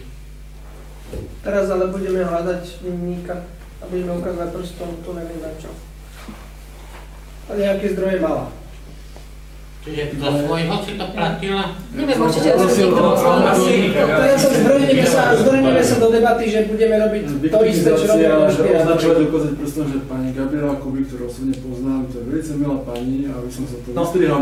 Ja, ja som vám išiel práve dať, dať slovo, lebo si pamätám, že ste sa hlásili, tak počkajte, počkajte moment. Ne, neviem, či naše hostky majú nejaký názor na, alebo Ja nejaké si informácie o pani... nechcem vyjadrovať ku žiadnym kauzám, pretože stále Kuby opakujem, je- že dobré aj zlé kauzy sú na jednej aj na druhej strane. Ehm, Ja sa domnievam, že, že církev skutočne nie je tá organizácia, ktorá mi nechce dobre, to je všetko. Dobre, takže pani Kuby úplne nepatrí asi, asi, asi k tejto téme, nech sa páči, pán Šáli. Ja by som poprosil tak, akože som veľmi rád, že sme tu stretli a že sa môžeme takto otvorene diskutovať, hej. To myslím, že veľmi dôležité. Ale ja by sme proste vyhli takým nálepkovaním a proste extrémizmu z jednej a z druhej strany, hej, lebo ten sa deje proste všade a proste e, z jednej strany sú označované sa kresťania za, za klerofašistov, za, za katolikobanistov a ja neviem čo, za fundamentálnych, bigotných a neviem čo. Hej. A z druhej strany sú zase označovaní tuto aktivisti za, za sodomistov, za uchylákov a ja neviem za čo. Hej? Ako to sa mi zdajú dva extrémne póly, ktoré sa tu takto polarizuje spoločnosť, to zdá úplne ako choré a nezdravé. Že jednak tomu. A potom druhá otázka, že, že prečo vlastne táto polarizácia vzniká. Hej? Ako môj osobný názor je, ja si myslím, že to je otázka, že teraz ľudia stratili teraz, učiteľ povedal, že vieru v církev a teraz sa proste frustráciu nejak tak kompenzujú, že útočia na menšiny, hej. A s tým som absolútne nesúhlasil. A si myslím, že to je otázka, to je otázka, otázka, čo tu bola položená ľudských práv, čo sú ľudské práva, hej, a ako ich definovať. Lebo jedna vec je osobná rovina, že ja si môžem robiť, čo chcem, druhá vec je moje politické ambície to presadiť ako zákon. Hej. A to už je iná rovina, lebo to sú už politické ciele. Hej, a... a ľudské práva sú presne definované. Ľudské práva sú presne, presne tak, máme chartu ľudských práv, ktoré ich definuje, to, to. A nie sú diskutovateľné. No, presne tak. Čiže to, čo sú ľudské práva, ja si že teraz to je nejaká rodová agenda, ktorá vznikla rokmi, od 904. sa to OSN začalo proste pretláčať a to je niečo nové, hej. No a je to kontroverzná téma, hej, sú také názory, sú onaké názory. Dobre, hej. A teraz sa to dáva za, za stierku ľudského práva a hovorí sa, že to je ako dogma, že teraz to musia všetci akceptovať a kto to neakceptuje je fundamentalista je bigotný. Hej. Ako toto je veľmi nebezpečný trend, ale aj z opačnej strany. Hej. A ja by som ako dôkaz toho, že naozaj ide o ľudské právo, to zacitoval pani Pietruchovú, hej, ktorá teraz vydala v rámci výboru, v ktorom pracuje. Hej. To je výbor pre rodovú rovnosť v rámci Rady vlády ľudské práva, tak ona tu dala také vyhlásenie dosť dlhé, teraz to bolo 21. vydané, zacitujem, že presadzovanie rodovej rovnosti je teda legitímny politický cieľ. Hej. Hodný modernej demokratickej spoločnosti a tak ďalej. To ide o politické cieľe. No, pardon, sa Olga tu, Olga tu nie je. som vyslovil meno, Olga tu, Olga tu nie je a má právo Ale toto je akože na politické ciele. Ale rovnosti, ktorý to dal ako oficiálne stanovisko. V tejto vlastne celej kauze, že vlastne sedíme, lebo sedíme tu, že to bolo, že občianske protesty vznikli. Hej. A oni sa vyjadrili k tým občianským protestom. Tak áno, sú to politické ciele, to nikto nespochybňuje. Jedna strana môže mať politické ciele, aj druhá má politické ciele, ale teraz nebojme si po krku a teraz nedávame sa, že môj názor teraz sú dogmatický a teraz ak vy poviete, že, že ja s tým politickým cieľom nesúhlasím, tak teraz som fundamentálny, bigotný katolikobanec, hej? Áno. A, sa, a teraz, že, Ale my, že nesúhlasím s vašim názorom, My tu nehovoríme teraz o politických cieľoch, ako som povedal, no. Olga tu nie je, možno to napísala, keby tu bola, tak by sa tomu vyjadrila. Ešte takú jednu detail do tomu dodám, hej, že ako ľudské práva je fajn, hej, že teraz, čo to znamená v praxi? V praxi to znamená, že ideme upravovať legislatívu. A to je komplexná úprava legislatívy. To znamená od školstva, justície, zákonník práce. Proste teraz zrazu zavádzame kopec nových zákonov, ktoré sú už politická agenda a ja s tým môžem, nemusím súhlasiť. Nie. Ale nemôžem viktimizovať nie, nie, a ostrakizovať nie, nie, nie, nie sú politické práva, nie sú politická agenda a nie sme tu od toho, aby sme spochybňovali veci, ktoré boli prijaté pred 60 rokmi. Ak máte niečo na pani Pietruchovú, tak jej to oznámte, Olga tu nie je, ja nebudem rozprávať jej mene. Pán v čiernom svete mal otázku. Ja by som sa tiež prihováral za zakopanie vojnovej sekery. Hovorili sa už o tom. No ale vy ju stále vykopávate. Teda myslím tie duhové, duhové tie prajk pochody. No to človeka skutočne ako bežného ako rozčuluje. Prosím vás, čo vás to rozčuje? Mohli ste definovať, bol ste tam? To by ma zaujímavé, čo vás to rozčuje. No, práve som Nemôže sa... rozčulovať jednoducho, že... Ale keď sa zaujímate, ale čo to rozčuluje, tak ho nechajte ho prosím vás hovoriť. Nechajte ho hovoriť, Ja som no. Ja som sa tam chcel dostať. Ten, tento, čo bol na Hvizoslavu. No, tam stal kordon policajtov, takých 800... silnejších chlapcov. Organizátori si No jednoducho ma nepustili ma tam. Bolo tam 800 policajtov a 400 účastníkov, toľko k tomu no. číslu 2000. Bola by som rada, keby ste vyčíslili, koľko stál tento štát, 800 policajtov. Ja by som to priamo policajtov. Som z Trnavy, môžeme sa pýtať na trnavské futbalové zápasy. Ticho. No nie, policajtov nechajme v tom. Ja teda za organizátorov druhého Prideu, toto boli podmienky policie, ktoré, ktoré sme museli splniť. Pretože oni musia dbať na bezpečnosť ľudí. Sú ľudia, uh, ktorí sa naozaj boja prejsť mestom a policia trvala na tom, že tam bude toľko policajtov. Takže otázka je, prečo policajti poslali tak veľa ľudí?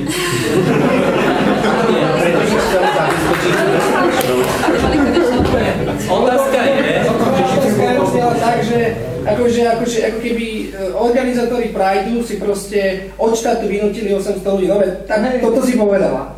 Že vynútili, ja som konštatovala fakt. Hej. A pýtala si sa otázku na čo?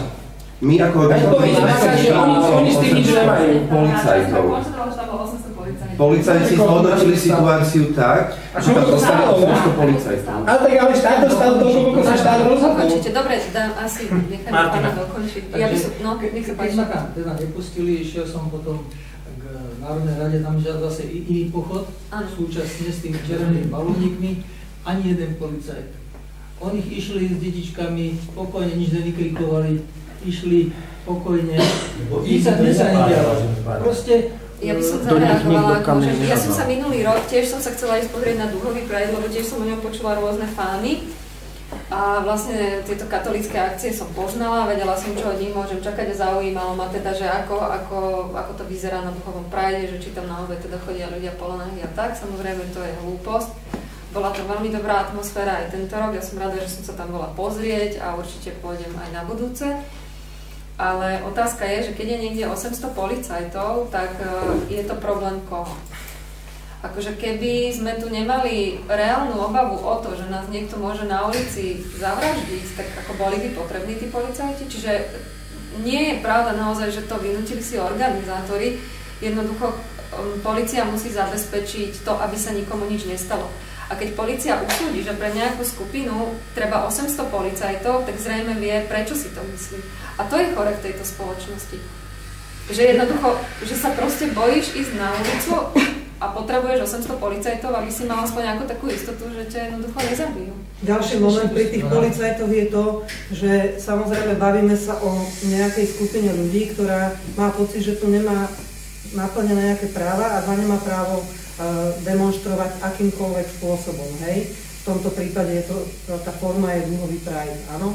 A, a keď by sme chceli klásť otázku, prečo policajti a toľky policajti, to je jeden moment. Môžeme odpovedať otázkou, a prečo e, futbal Trnava Slova si vynúti manévre po celých mestách. A A, je to len zábava, len zábava. A je to presne Tu ten na- istý problém. To A, a je to tiež len problém bezpečnosti, ovšem bavíme sa o zábave, o srande, o chlieba, hry, o hrách. A ja k tomu ešte dodám, toto je v Trnave len- to, to to veľmi vyzerá tak, že okrem toho, že sú tam tí policajti, uh, obrnený transporter, kone a podobne, sú uzavreté ulice a je zakázané predávanie napríklad alkoholu a podobných, na čom strácajú ďalší ľudia, ktorí pracujú v tých podnikoch, pretože nemajú, naozaj je tam široký záber, doteraz je uh, štadión padnutý, lebo ho rozbúrali, stáva sa tam nový taký troška nie?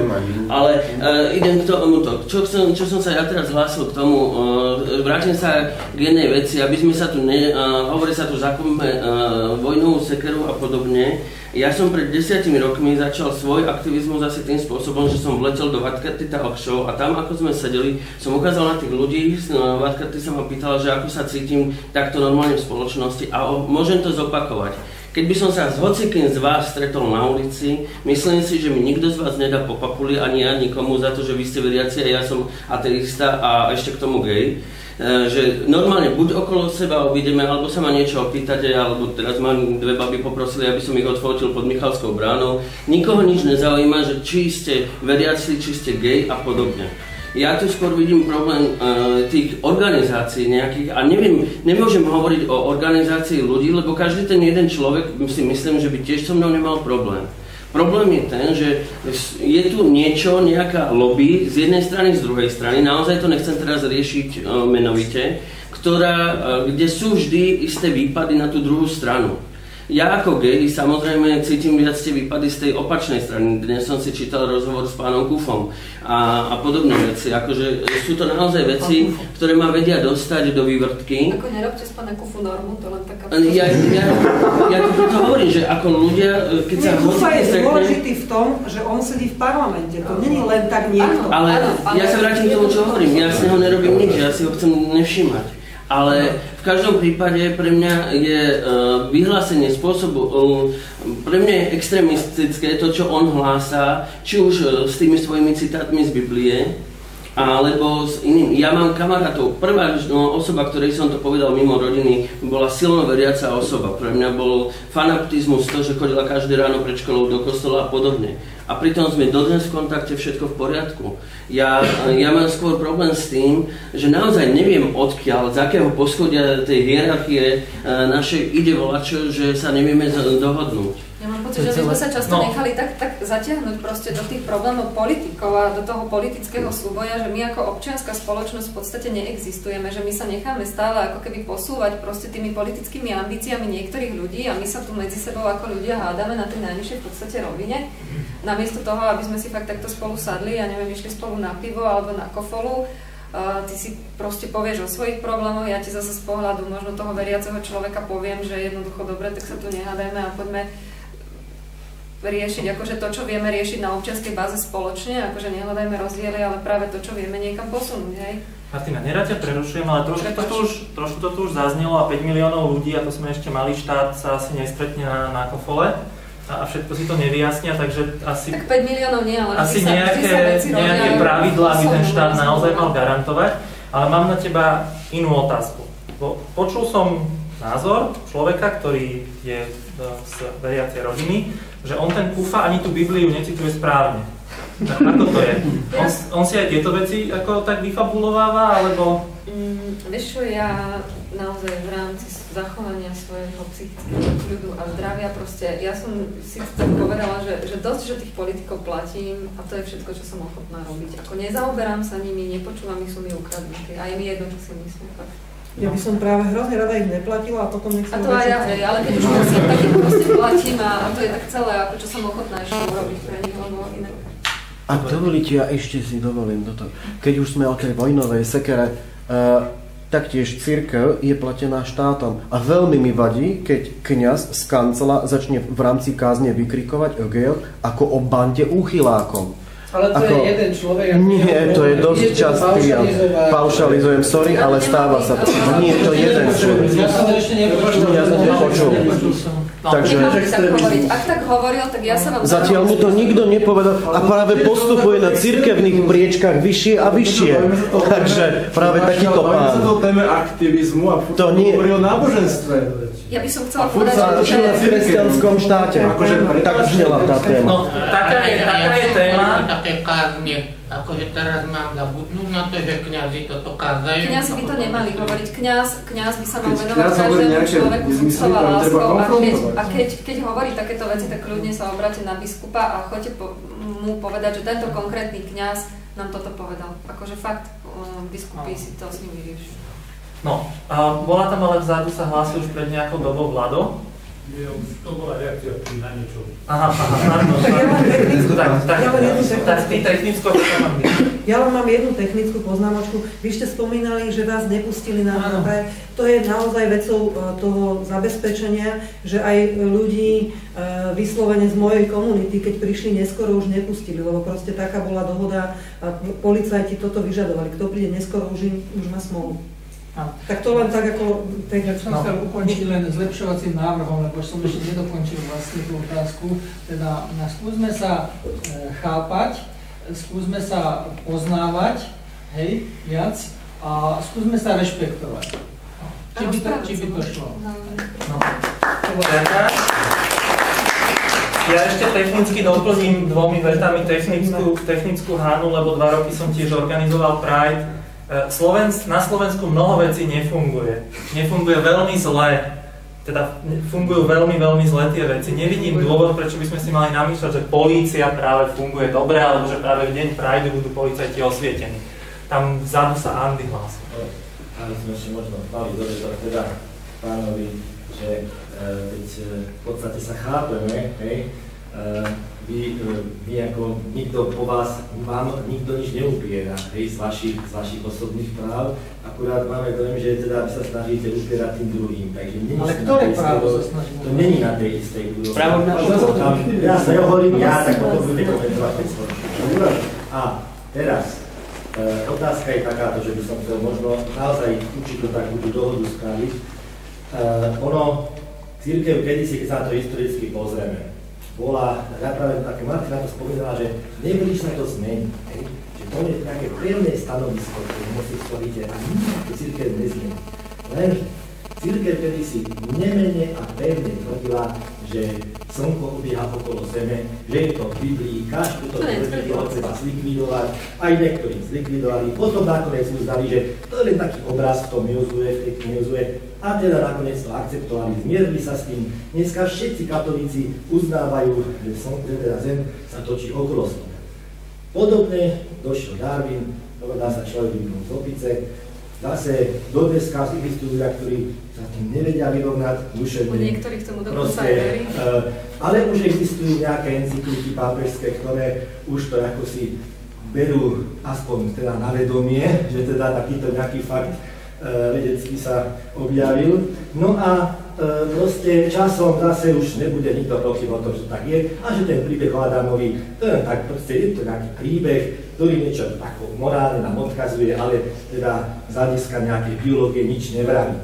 Hej? No a prečo vy teda áno, v Biblii sú nejaké poznámky o tom, že milovníci mužov sa dostanú do neba, áno, že je všetky, kde teda e, boli nejaký, nejaké celé mesta áno, zničené kvôli tomu, že tam teda prevádzkovali homosexualitu, ale zase ja verím tomu, že jedného dňa ten rozum, ako tam zase prevládne už tej populácii a nakoniec budeme mať treba skutne homosexuálneho pápeža. Takže ja si myslím, že toto by mohlo byť ten Ja si myslím, že ty už bolo veľa. No a teda, teda ja si myslím, že toto je práve tá rovina, že pozeráme na to takto historicky a pokrokovo, ono všetko sa mení a proste ten pokrok sa nedá zastaviť. Niekto sa to môže snažiť, ale nepodarí sa mu to, to je zbytočne sa. Dobre? Martina, chceš zareagovať na homosexuálneho yes. pápeža? Ja som na niečo chcela zareagovať, ale zabudla som na to. Tak to asi nebolo dôležité. Asi nie, no. homosexuálny pápež. Ja sa nestarám do tejto cirkvi. Mne to je jedno, akého bude pápeža. Dobre. Nech sa nestarám do mňa. Dobre, dobre, dobre. Nech sa páči. Ďakujem pekne.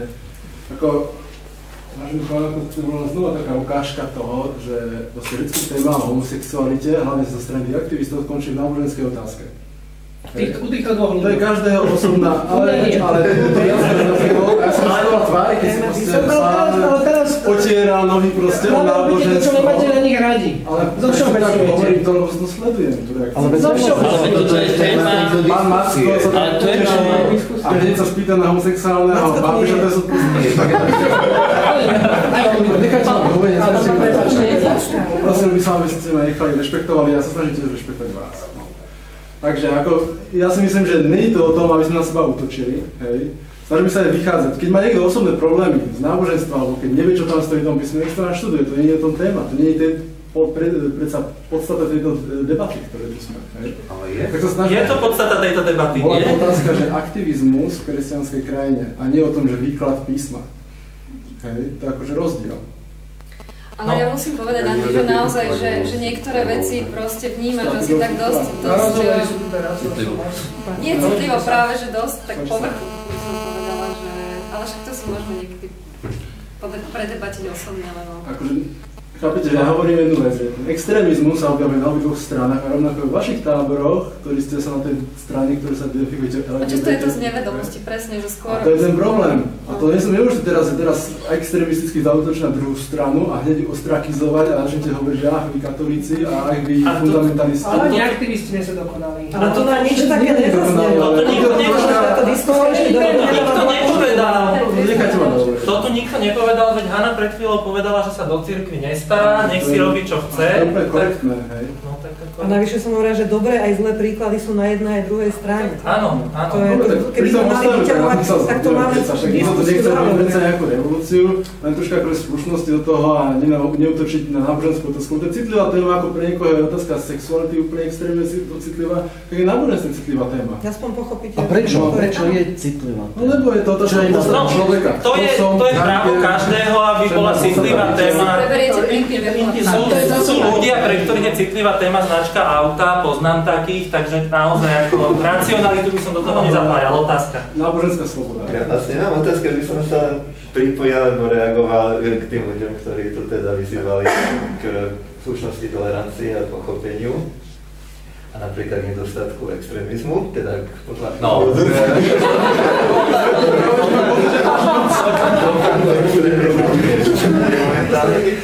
Ale že niekedy je možno tiež dobré povedať nejaký príklad, že čo pod tým chápeme, že čo napríklad pre vás bola extremistická poznámka, alebo keď ste povedali, že pod ako príklad vykopania vojnovej sekery, že bol nejaký projekt pochod.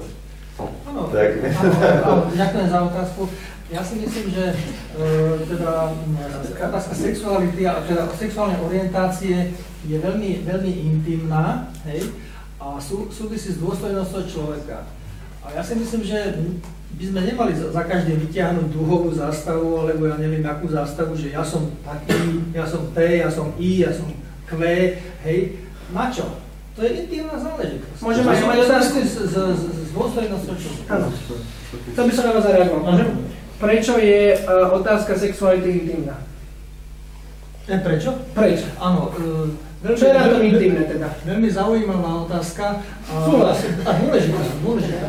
Ja si myslím, že to súvisí s tým, že človek si určité veci chráni, hej, lebo sú, súvisia s, jeho, s jeho vnútrom, s jeho, by som povedal, biosom. Áno. Zdá sa, že mi, prepačte, ja som asi zle otázku, zdá sa, že mi odpovedáte na inú.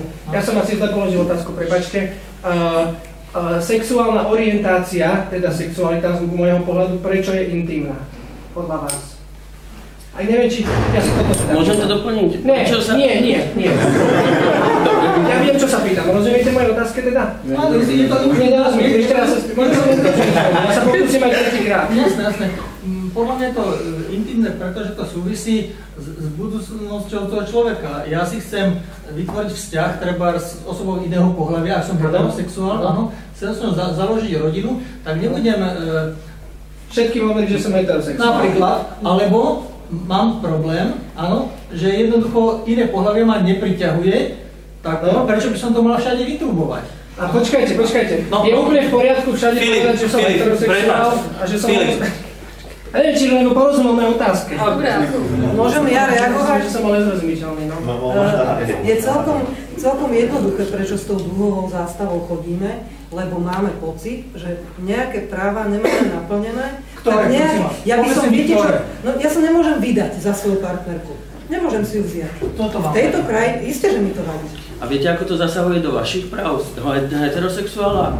No a všetci hovoria, že zákon o registrovaných ja som ja by som nesmierne, ja by som naozaj nesmierne rada svoju čokoľvek, to nie je len o sexuálnej orientácii, čokoľvek o mojej identite, e, nesmierne rada by som to nevešala na nos verejnosti.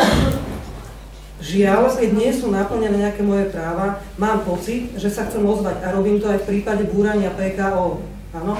A robím to teda aj v prípade tohoto. To znamená, že o tom sa rozprávame, že vy nemáte potrebu ako heterosexuál riešiť nejaké vaše práva, lebo, lebo ich máte. Ja ich nemám a žiaľ Bohu, keď sa týkajú tej, tejto témy, musím vytiahnuť to, že ja som na babi. Inak v tomto by sme si mohli možno rozumieť. Ja, ja by som len chcel súhlasiť s Hanou, že to bol presne ten dôvod, pre ktorý sme ten dúhový Pride zakladali a pre ktorý sme ho robili na Slovensku legislatívne sú ľudia a páry rovnakého pohľavia diskriminované, nie je možnosť uzavrieť manželstvo, nie je možnosť adoptovať deti a tak ďalej a tak ďalej. Slečna má mhm. otázka. Uh, ja mám možno taký malý koment k tej téme, alebo um, možno to sformulujem do otázky, že myslím si, že Mm, priznala sexuálnej orientácii ako katolíckej, aby boli nedostatočné. Ešte k tomu východného obradu, ako chcete nejak špecifikovať? Uh, takže uh, podľa mňa je problém s informáciami oboj strane že uh, prikláňam sa opäť k tomu zakopaniu vojnovej sekery, lebo si myslím, že všetci sú Božie deti, takisto aj gejovia, lesby, aj iné písmená, proste všetci sú Božie deti. Uh, jednoducho toto nie je, nie je problém. Takže nie je to problém církvy, nie je to problém ľudí, skutočne uh, takisto vidím, že biskupy tlmia tieto otázky. Je to otázka možno niektorých ek- extrémistov, ale nebudeme to teraz riešiť. A túto informovanosť však nevieme, aspoň ja z mojej strany, e, zabezpečiť, pretože sa mi zdá, že e, jednoducho kresťanské správy alebo správy pozitívne sú eliminované v mnohých médiách. A tým pádom e, nedokážeme tlmočiť našu nearoganciu alebo náš neextrémizmus gejom a lesbám a podobne, e, lebo jednoducho sa tam nedostaneme. E, ja som riaditeľka domu Kovadis, neviem, či poznáte bývalú sovietskú knihu, ktorá je tuto hore, takže pozývam hoci kedy po obede, môžete prísť ja na to. tam chodím fotiť tie nápisy. to som rada, že sa vám páčia. Ešte chceme obnoviť ja. tak. Um, ale sme teda katolické do evangelizácie a snažíme sa približovať ľuďom. Funguje u nás okolo 40 dobrovoľníkov, ktorí pôsobia kaviarenie otvorená pre kohokoľvek, takisto programy. Takže napríklad, keby som chcela nejakú našu akciu dostať niekde do Jojky, tak nedostanem proste, aj keby som tam chcela dať e, niečo, že, že prečo má církev povedzme, prečo církev nemá problém s homosexuálnym?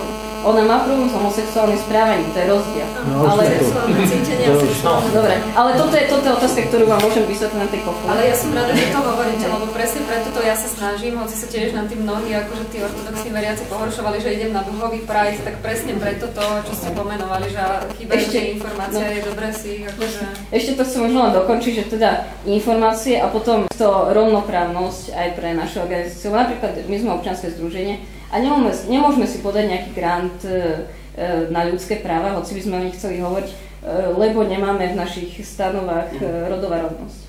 Ale jednoducho to sa nestotožňuje zase s našim svedomím propagovať systém a... Rodová rovnosť sa nestotožňuje s našim svedomím? Čo sa týka rodovej, počkaj, rodová rovnosť, tak ako ja to chápem, môžete mi to možno vysvetliť.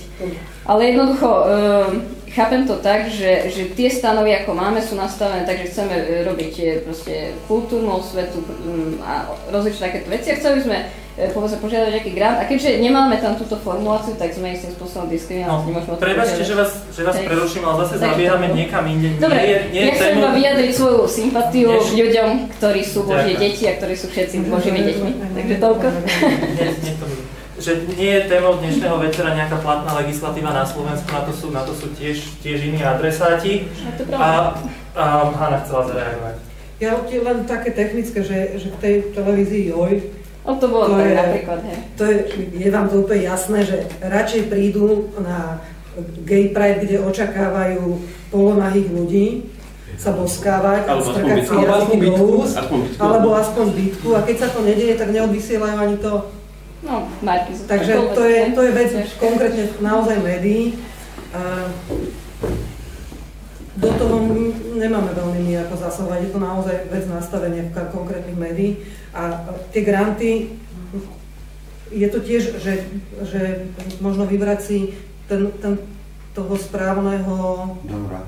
Nie, aj donora samozrejme, ale, ale to nasmerovanie nejaké také, že asi keď by ste si pri, na oddelení, kde sa zaoberajú rodovou rovnosťou, pýtali grant, ktorý by bol proti eh, tej, tej filozofii, tak asi nie je priechodný, ale niekde inde určite by priechodný bol. ťažko, práve, že sme diskriminovaní. No, pardon, už naozaj toto... To len dobré, to, to, možno, a bola otázka tuto, vzadu?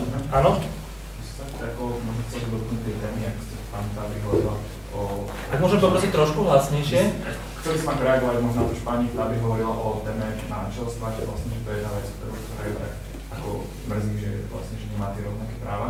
O, ja mám taký pocit, že tu sa ako, keby sme hovorili o dvoch rozdielných veciach, že o, z toho kresťanského hľadiska sa hovorí o manželstve o jednej veci a z toho, o, z toho dajme tomu, LGBT pohľadu sa, sa hovorí úplne o inej veci problém nastáva v tom, že ako si sa spojilo, spojilo to kresťanské manželstvo, to štátne manželstvo. Preto myslím si, že a sú tam aj výhody samozrejme z toho manželstva v štáte.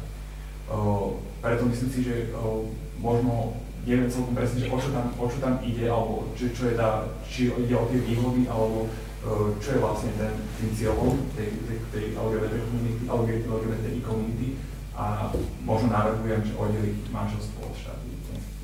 Ale čo, čo by ste k tomu mohli povedať?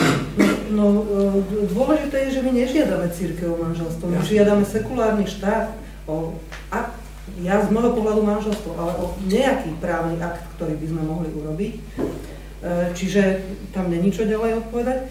A e, že prečo?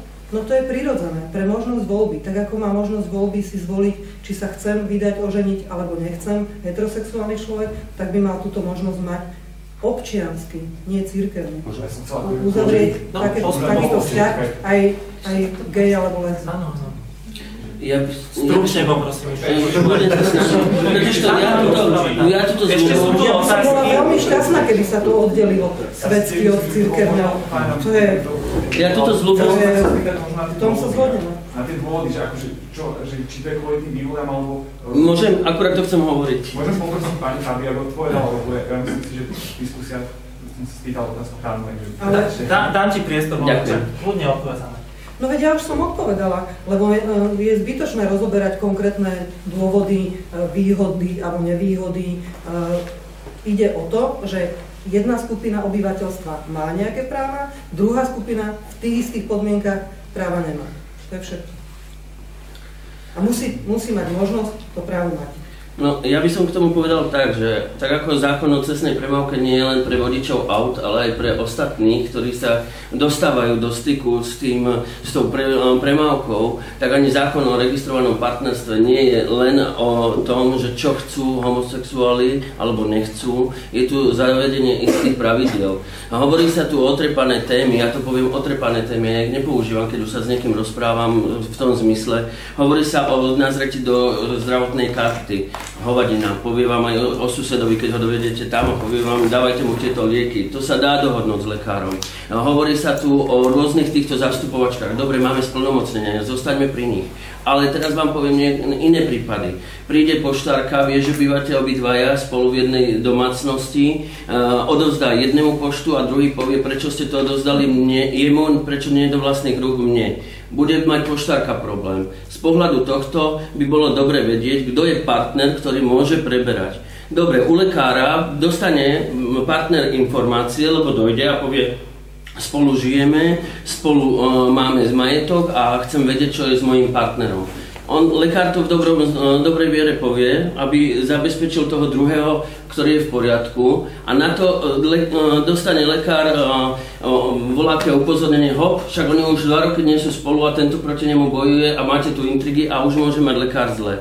Takže všetko, čo hovorím ohľadne tohto, či už je to u lekára alebo takto, je to aj z pohľadu ochrany tých ľudí okolo aby sa tu ľudia nesúdili kvôli takýmto hovadinám, a, alebo či je to preberanie e, tých zásilok, a teraz mi no. vypadla jedna téma. Prepačte ťa preruším, ale naozaj už, je, už, už, ale, už trošku hlavne postúpil čas, takže sa postup, postupne po, po, posunieme tými otázkami. Takisto dnešný večer není o tom, že prečo chceme ne, nebyť diskriminovaní. My nechceme byť diskriminovaní a to je, e, to, je, to je naše právo za to bojovať. Doporučujem napríklad stránku Duhového Prideu, kde je napísané, prečo Duhový Pride existuje a tam je veľmi pekne vysvetlené, prečo nechceme byť diskriminovaní. Otázky boli, ak si správne pamätám poradí, pán v bežovom saku. E, ďakujem pekne. E, takto veľmi sa mi páči, že nie sú tu extrémisti a že naozaj sa snažíme diskutovať, e, proste, že sa počúvame. Hej, to, je, to je veľmi dôležité a to je základ. A myslím, že obidve strany cítime, že v podstate, hej, tiež som veriaci človek, snažím sa tak žiť a teda proste Biblia je pre, pre mňa knihou pravdy a skutočne životnej inšpirácie. Snažím sa podľa toho žiť a proste všetko takto posudzovať. Um, takto a obidve strany sú presvedčené, že proste majú svoje práva a teda, hej, pani Fabri povedala, že je diskriminovaný, lebo nemá právo na manželstvo. Čiže jedno, Jednoducho tá situácia je taká, že nie je ľahké jeden druhého proste skutočne pochopiť. Aj keď sa snažíme, isté predsudky proste nás sú, chťa nechťa a treba ich postupne odburávať, proste treba chápať. Ja naozaj proste teraz posledné mesiace, možno roky, viac vnímam túto tému a skutočne si uvedomujem, že proste LGBTI je problém proste pre tých ľudí a, a snažím sa mať proste, mám preto pochopenie a myslím si, že aj církev má to pochopenie a buďme radi proste, že zatiaľ tie extrémy sú na kraji, čiže to by som aj očakával z vašej strany, aby ste trošku e, proste e, rozlišovali a povedali, že proste v cirkvi sa ľudia, s ktorými sa dá hovoriť. Lebo zatiaľ toto som nejak e, nevidel, či na blogoch, alebo aj dnes tá tlačovka, na ktorej som tiež bol, ma to zaujíma, tak to, toto mi chýba. Hej, trošku také, také rozlišovanie, aby tá vzájomná úcta mala naozaj na čom stáť. No a proste ideme si trošku k realite, ako aby ste trošku chápali, na čo sa povedať, že kde sa teraz za posledný rok vzal taký aktivizmus. Áno, ten aktivizmus je podstatne väčší teraz za posledné mesiace. Poviem pravdu, že my sme si uvedomili, aká tá situácia je a že myslíme si, že naozaj z hľadiska istého civilizačného proste vývoja sú tu vážne nebezpečenstva. Keď pozriete, ako sa Európa momentálne vyvíja, alebo teda aj západný svet, no vymierame. To je, to je akože najsilnejší fakt asi, ktorý, proste najväčší problém, ktorý tu je. Uh, ale ja pozorujem aj celkom bezprostredne v mojom okolí, minule som s jednou paňou, ktorá je dokonca šéfkou jednej nadácie, mi proste hovorila, ona už je tak znechutená, proste, tak, tak beznádejná do budúcnosti, povedala, že aj by som išla do nejakého iného štátu, ale kam mám ísť? V podstate všade je to nejaké... A ja by som šla. No, uh, čiže skutočne, ako sú tu problémy, e, rastú aj psychiatrické choroby, minule som videl nejaké čísla, to, je to vážne. Nerad vás prerušujem, ale poprosím stručne a k téme, keby sa dalo. Čiže e, to, čo som chcel povedať ešte teda, že trochu chápte aj vy nás, že um, napríklad v útorok, to, to znamená, hovorím o realite, v Európskom parlamente sa uh, hlasovalo o um, Estrela report, hej, o sexuálnych a, um, a reproduktívnych, o reproduktívnych zdraví a práva. Tam boli také veci, ktoré, no poviem šalené, hej, ako um, napríklad právo slobodných matiek, ale zjed na, na deti. Ako to, to naozaj ide, to ide za ráme. Proste to už nie je prirodzené a to ohrozuje... A v tejto chvíli vás preruším, pretože sa to netýka dnešného večera. No, myslím, že to som chcel povedať, že, aby, že jednoducho tu sú tendencie, ktoré idú veľmi ďaleko, hej, napríklad ako právo na abort detí, teda hej, mladistvých bez ďaká, ďaká za názor, my si nemyslíme, že to ide ďaleko, my si práve že myslíme, že to ide málo ďaleko, dnešného večera sa to netýka, tam vzadu bola otázka, pán Mokuniar. Ja som sa zareagovať na tú prvnú otázku, ja si myslím, že nežijeme v kresťanskej spoločnosti, ale v polokresťanskej spoločnosti, čo je veľmi dôležité.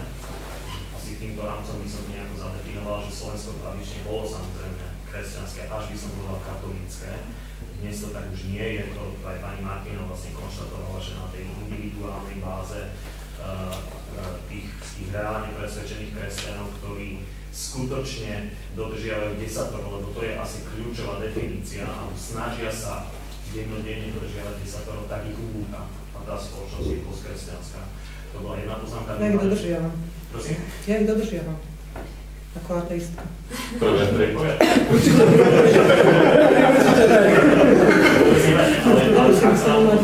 ale širšieho kontextu, tak je to fakt, že proste, keby sme, ne, nekonštatovali by si, že sa chcete odsťahovať, keby, keby sa na to že ľudia sa to alebo tá spoločnosť by vyzerala inak.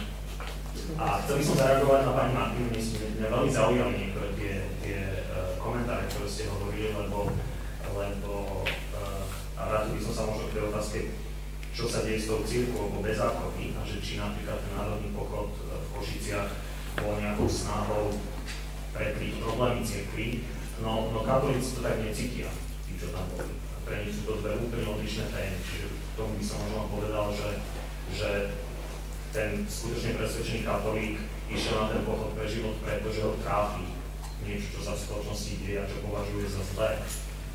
Ale tá téma, téma bezáka je živá a týka sa istých kruhov cirkvi a nemá s týmto nič spoločné. Čiže to by som len chcel ako reakciu No, ja ďakujem, že ste to povedali a ja som sa aj s niektorými otcami biskupmi rozprávala o tom pochode za život, zaujímalo ma to tiež, uh, už len z hľadiska toho, že uh, ako človek, ktorý pracoval v katolických médiách, si trošku všímam, ako sú niektoré cirkevné témy komunikované nie v rámci tej veriacej komunity, ale podávané smerom von, lebo často naozaj aj tie pozitívne veci, ktoré, ktoré by církev mohla tej spoločnosti povedať, tak sa, tak sa k tomu zvyšku spoločnosti nedostanú.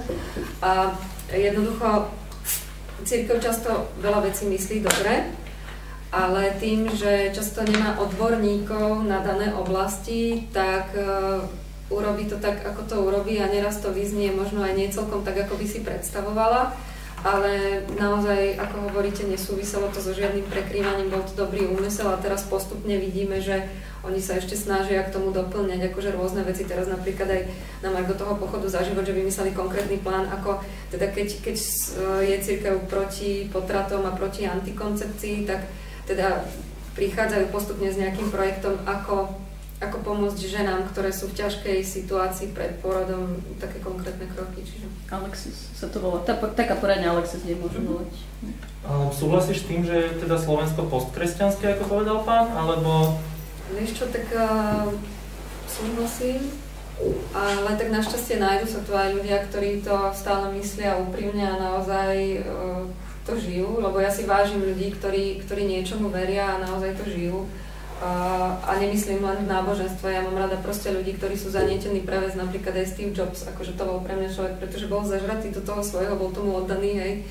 Čiže eh, aj taká oddanosť akože viere a náboženstvu, vážim si takých ľudí, ktorí, ktorí takto žijú. No, potom, čo Steve Jobs zomrel, tak krát, krátko potom sa na Facebooku začali objavovať také tie obrázky, že čo ste všetci takí strašne smutní z toho, že zomrel Steve Jobs, že on nevyrobil váš iPad, že čínske deti ho vyrobili. To je, no, to je iná, to je no, iná není to, tak, není to tak aj s tým náboženstvom niekedy, vieš, lebo keď povieš, že, že pochod za život bol myslený dobre, tak, tak čo bola tá dobrá časť? Lebo možno som zle informovaný, ale ja si tam teda ťažko, ťažko hľadám. No ja nehovorím, že vnímam nejakú explicitne zlé, mm-hmm. i keď niektoré tie vyjadrenia boli také všelijaké, ale že mňa by zaujímalo, že čo ty považuješ za tú dobrú ja považujem za dobrú vec vždy to, keď ľudia sú schopní zdvihnúť slušne povedané zadok a niekam ísť. A akože to je pozitívne, akože aj v rovine občianského aktivizmu. Teda, no či, to áno, čiže, ale to, ten obsah, že... Čiže keď sú schopní ísť na to miesto a diskutovať o tej téme a konfrontovať sa z tváre do tváre, tak, tak ja to považujem za pozitívne a jednoducho hovoriť medzi sebou osobne je vždy niečo iné, ako hovoriť si cez Facebook a odkazovať si a písať si nezmysly. Proste teraz sa tam stretla veľká masa ľudí, tak uvidíme, že čo bude ďalej. Teda ak to ja správne chápem, ak nie, tak ma oprav, tak ten pochod bol vlastne preto, aby sa na Slovensku nevykonávali potraty. Áno, bol za ochranu života, nielen nie len za to, aby sa nevykonávali potraty, ale bola aj akousi deklaráciou proti eutanázii a proste takýmto trendom. Mm-hmm, dobre, tak eutanázia to je už potom Aj za tradičnú rodinu ešte Lebo bola som tam, takže rozhodne ja sa minimálne že to je tradičná rodina, lebo ja doteraz neviem, tak ako po tradíciou, cyrilometodickou tradíciou, ja si ani pod pojmom tradičná rodina neviem, čo no, si mám Tam som sa práve chcel dostať, môžem sa, môžem, môžem sa teda ja spýtať pre zmenu do publika, že čo je tradičná rodina? To tu bolo 5 rokov. Otec, mama a deti? A nič iné rodina. A ešte bol sluha veľký. Akože závisí, že ako vnímame e, možno m, rodina, že aj môj brat je moja rodina, hej? Dá sa to tak povedať? No nie, no, je, že čo to je tá tradičná aj, môj, aj moja sesternica je moja rodina. Žiješ s priateľom, to nie je moja rodina? Je to, je to váš priateľ. Netradičná rodina. No. Je to váš partner. Ale tuším ani v zákone nie je dané, že čo je rodina. Tam som sa, tam som sa totiž chcel dostať. Tam, som, tam som sa totiž chcel dostať, ako asi antropológovia by trošku nesúhlasili s tým, že tradičná rodina je otec, matka a, a deti, lebo do, do polovici 20. storočia na väčšine slovenská tradičná rodina boli tri generácie. A zrejme ani žena, ktorú manžel opustil? a z tradičného manželstva odišla za mladšou, a tak ďalej, nechali ju sám, a, tak, a tak ďalej, ale to, ale to by bola zase trošku iná téma, ale sem som sa chcel dostať. Martina, keď uh, pani z, z Kvovady, ak si to správne pamätám, povedala, že, že za tradičnú rodinu, tak uh, ja si nemôžem pomôcť, ale ja v tom cítim, že ak je to za niečo, tak to musí byť aj proti niečomu. A keď je niečo za tradičnú rodinu, tak je to proti rodinám uh, LGBT ľudí. Nie je to tak? Aj rozvedení. Ešte neviem, ja to tak nevnímam. Ja keď idem pochodovať za, ja neviem, za kakaovú babovku, tak nemusím zároveň pochodovať proti rožkom, hej, že... Dobre. Neviem, ako podľa mňa, Takže ale ja si... hľadiska je to kompatibilné, Ja si hej? dovolím predpokladať, že, že ono by tu zasa chcelo, to je téma na diskusiu, zasa, že čo je tradičná rodina. Ak, ak pod tradičnou rodinou rozumieme muž, žena, akože v tom najzákladnejšom vzťahu, že je to vzťah muža a ženy, tak e, ako mne naozaj by sa mi potom ťažko pozeralo do očí deťom, ktoré som učila na cirkevnej škole a z ktorých veľká väčšina žiaľ dnes pochádza uh, z rozvedených rodín, alebo že slobodná mamička má dieťa. Jednoducho to sú také témy, že ja som sa napríklad uh, k tomuto pojmu nikdy ani neuchýlila, ani počas akože, vyučovania tých detí, lebo viem, že niektorých tých detí by sa to mohlo dotknúť. Je to aj keď, smutné. aj keď asi, asi jednoducho treba hľadať príčiny toho, že prečo sa uh, ľudia rozvádzajú a prečo jednoducho už e, tu nemáme takýto model rodiny, že jednoducho, v ktorom sa cítime dobre a zasa e, pod tradičnou rodinou, v zmysle muž, žena a deti, rozumiem naozaj aj to, že súčasťou takejto tradičnej rodiny je aj dieťa, ktoré má inú sexuálnu orientáciu a tá rodina sa s tým s týmto vyrovnáva rôznym spôsobom. Aj to je pre mňa tradičná rodina, Môžem lebo aj to sa na Slovensku... Pre, pre, toho... Aj to sa na Slovensku jednoducho stáva, že aj toto je súčasťou rodiny. Hej, že naozaj jednoducho tá rodina je tak rôzna, že, že povedať, že som za tradičnú rodinu je niečo pre mňa, čo ja si naozaj neviem, čo si mám pre tým predstaviť. Dobre, a keď sa tie tradičné rodiny, ktoré majú potom um, neheteros, neheterosexuálne deti, sa ich tak viacej nakopí a tie neheterosexuálne deti sa potom dajú dokopy, tak to už to už je tiež tradičná rodina ešte, alebo nie? Tak sa teda ja verím, že ja neviem, čo si mám pod tým pojmom celkom presne predstaviť, takže ja verím, že možno raz vznikne aj diskusia na to, že čo si kto predstavuje pod pojmom tradičná rodina okay. a domyslí to do dôsledkov, ale aj s týmto, hej. Dobre. A ja neviem, či potrebujeme nejaké nálepky tradícií. Ja myslím, že skôr je dôležité definovať uh, uh, nielen, že čo to je rodina, ale uh, najmä akú podporu si rodiny zaslúhujú, lebo rodina z môjho pohľadu, a to je presne, každý má svoj pohľad, z môjho pohľadu rodina je, je každý, kto sa cíti byť s niekým rodinou. A je to, je to matka s dieťaťom, alebo aj otec s dieťaťom, alebo však samozrejme aj taký. Hoci sú len dvaja, snáď by ste im neupreli právo povedať, že sme rodina. To si nemyslím. A ide o to, o, o, o mieru, nie mieru, to je nezmysel, o, o ochranu rodiny ako takej, nielen tradičnej, ako takej, kde sa ľudia cítia byť, že sú s niekým rodinou, tak prebohávať im to nemôžeme brať naopak. Utvrdzovať ich v tom, veď to je pozitívne. Nech má tá rodina akúkoľvek formu. A je smutné Pokiaľ je to pozitívne a formuje nás to k dobru, tak ja nerozumiem, prečo by sa nejakým spôsobom mala nálepkovať a jedna ostrakizovať a druhá naopak e, nejakým spôsobom preferovať že napríklad súčasťou tradičnej rodiny sú ja, ja mám napríklad tu veľmi rada svoju babku. Tiež. A opustíme ten pojem tej tradičnej rodiny. A jednoducho, a jednoducho rodina, ako pre mňa je to jednoducho aj ten starý človek, o ktorom sa tu ale strašne málo v spoločnosti hovorí, bohužiaľ, a skôr sa dostávame k témam, pri ktorých sa ľudia fakt idú pozabíjať, namiesto toho, aby sme si povedali, že tí starí ľudia už vôbec nie sú v spoločnosti vážení tak, ako by mali byť, že žijú zo smiešných dôchodkov, z ktorých ledva prežijú a tak ďalej a tak ďalej. Nie? Čiže keď sa chceme baviť o tradičnej rodine, tak sa o nej bavme, alebo o rodine ako takej, ako povedala Hanka, tak sa o nej bavme akože v celom kontexte. So všetkým, čo, čo mu musí tá rodina v dnešnej dobe čeliť. Posledná otázka. A Martina, potom Hanna. Martina, ty sa toho už jemne dotkla. Zaznievalo to tu na, na rôznych fórach, pozitívne alebo negatívne, teraz si to povedala v súvislosti so seniormi.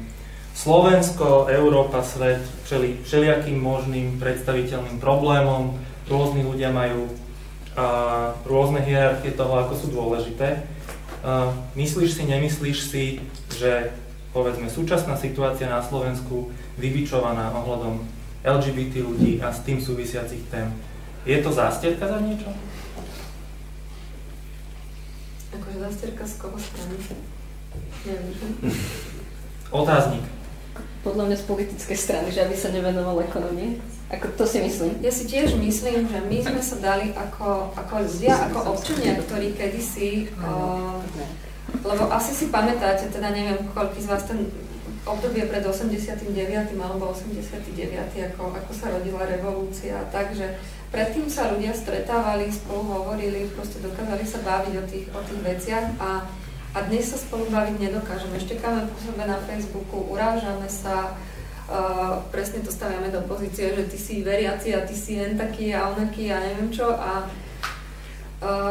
myslím si, že sme sa dali ako ľudia strašne ovládnuť politickými ambíciami niekoľkých ľudí, ktorých ešte aj platíme a myslím si, že to je zlé. A že my by sme si ako spoločnosť a ako ľudia mali povedať, že, že nenechávajme sa hecovať takýmito cieľmi kohokoľvek, ale proste stretávajme sa akože na takejto občianskej rovine a rozprávajme sa spolu. A myslím si, že toto sa vytratí, lebo ja mám ako veľmi príjemný pocit z toho, že mám pocit, že naozaj sme sa veľmi konštruktívne porozprávali. Ďakujem. Hanna, posledná otázka na teba, ale predtým ešte taká podotázka, ktorú som sa chcel spýtať a trošku sme sa zamotali, keď je pochod za život a za tradičnú rodinu, tak súhlasíš so mnou alebo nesúhlasíš so mnou tom, že keď je niečo za tradičnú rodinu, tak je to proti tej netradičnej rodine? Ty sa tam tiež cítila? Ja, ja strašne nerada paušalizujem a úplne v ničom nerada paušalizujem. Ja keď píšem články, uh, v ktorých kritizujem postoj povedzme cirkvi, tak používam uh, výraz časť verejnosti, časť cirkvi a tak ďalej. Paušalizovanie, generalizovanie není môj, môj veľký koníček Čiže ja si myslím, že určite tam boli takíto ľudia, ktorých gro bolo, že oni sa tvária, že sme tu za niečo, ale my sme tu hlavne proti niečomu. Mm-hmm. A celkom určite tam boli ľudia, ktorí naozaj tam išli len s tou víziou toho dobra pre... Ako ja vidím to dobro, z môjho pohľadu, to je druhá vec, ale z ich pohľadu je to vízia dobrá. Čiže myslím, boli tam aj takí, aj takí. Ako, či ten pochod sám, ako jeho témou bolo, že, že tvárime sa, že za, ale hlavne je to niečo proti, Dobre, a potom sa ešte objavujú z času na čas aj také názory, že LGBTI aktivizmus alebo Pride alebo niečo podobné je zase pre zmenu proti tradičnej rodine. Čo by si povedala na takéto niečo? To isté. že myslíš si, že niekto chodí na Pride preto, lebo proti tradičnej rodine? Lebo nechce, byť, nechce vytvárať tradičnú rodinu, keď on je... Ja neviem, ja, ja, ja chodím všade za. Za svoje myšlienky a, a verím, že, že chcem dobro. Mm-hmm. Ale asi to veria aj tí, ktorí chodia s budáckými zástavami. No, tak musíte si na to dobre dávať pozor, keď všetci chcú. V každom prípade, akože ja svoju osobnú bodku závetov by som chcela povedať, že, že, a to už som zdôraznila niekoľkokrát, že ja nechcem nikoho obmedzovať, a, ale urobím všetko preto, aby niekto neobmedzoval mňa. Mm-hmm. Dobre, a teraz tá naozaj posledná otázka. Toto bola podotázka, čo bolo teraz.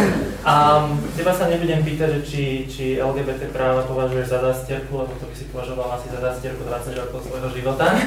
A to teda by si musela na, na inom materiále fičať. Um, ale čo by sa podľa teba muselo stať, alebo čo by si chcela, aby sa stalo, aby napríklad sa verejnosť zaoberala ekonomikou, ako tuto povedala pani Sklovadis. Čo by sa z teba, podľa teba ako, ako LGBT aktivistky muselo stať, aby to proste nebola tá téma, aby sa nedala používať ako zástierka kýmkoľvek? Asi by stačilo, keby uh, sa, sa Hej, to mám slušne povedať. Keby prestali ľudia strkať nos tam, kde ho nemajú strkať. Aby nechali si e, vyriešiť tých, ktorí pociťujú nejaký problém, aby, si, aby tých ľudí nechali si ho, si ho vyriešiť. A v tomto prípade je našim partnerom na riešenie štát a ja chcem rokovať so štátom a nechcem, aby sa mi do toho niekto plietol. No ale čo by ten štát musel spraviť, že tak akože trošku konkrétne, lebo to tak vyselo vo vzduchu. Vymeniť národ. Nie, neviem, naozaj neviem, čo by mal urobiť ten štát, pretože tých vecí je už tak strašne veľa, ktoré, ktoré tak rozleptávajú úplne všetko, od občianského vnímania až po, po naozaj to... to no, v prípade diskriminácie LGBTI menšiny. Ale to už som povedal asi 4 krát. No hej, ale tak konkrétne zaznelo, že že, že sa to nedalo používať ako zástierka, že je to riešenie. To riešenie nie je nehovoriť o LGBTI menšine, ale to riešenie je No, ja by som pokojne o sebe nehovorila, keby som mala všetky práva, ako majú ostatní. Ale pokiaľ niekto pociťuje niečo ako problém, tak tým, že o ňom nehovorí, ten problém sa nestratí. Čiže samozrejme, že o ňom treba hovoriť. Ďakujem. Ďakujem aj vám, ďakujem tým, ktorí ste to pozerali na internete. A keby ste mali záujem o ďalšie ľudskoprávne témy alebo sa zúčastniť nejakej ďalšej diskusie, a informácie na našom webe ľudsképráva.sk alebo na Facebooku facebook.com lomeno ľudské práva. Ďakujem, dovidenia, pekný večer.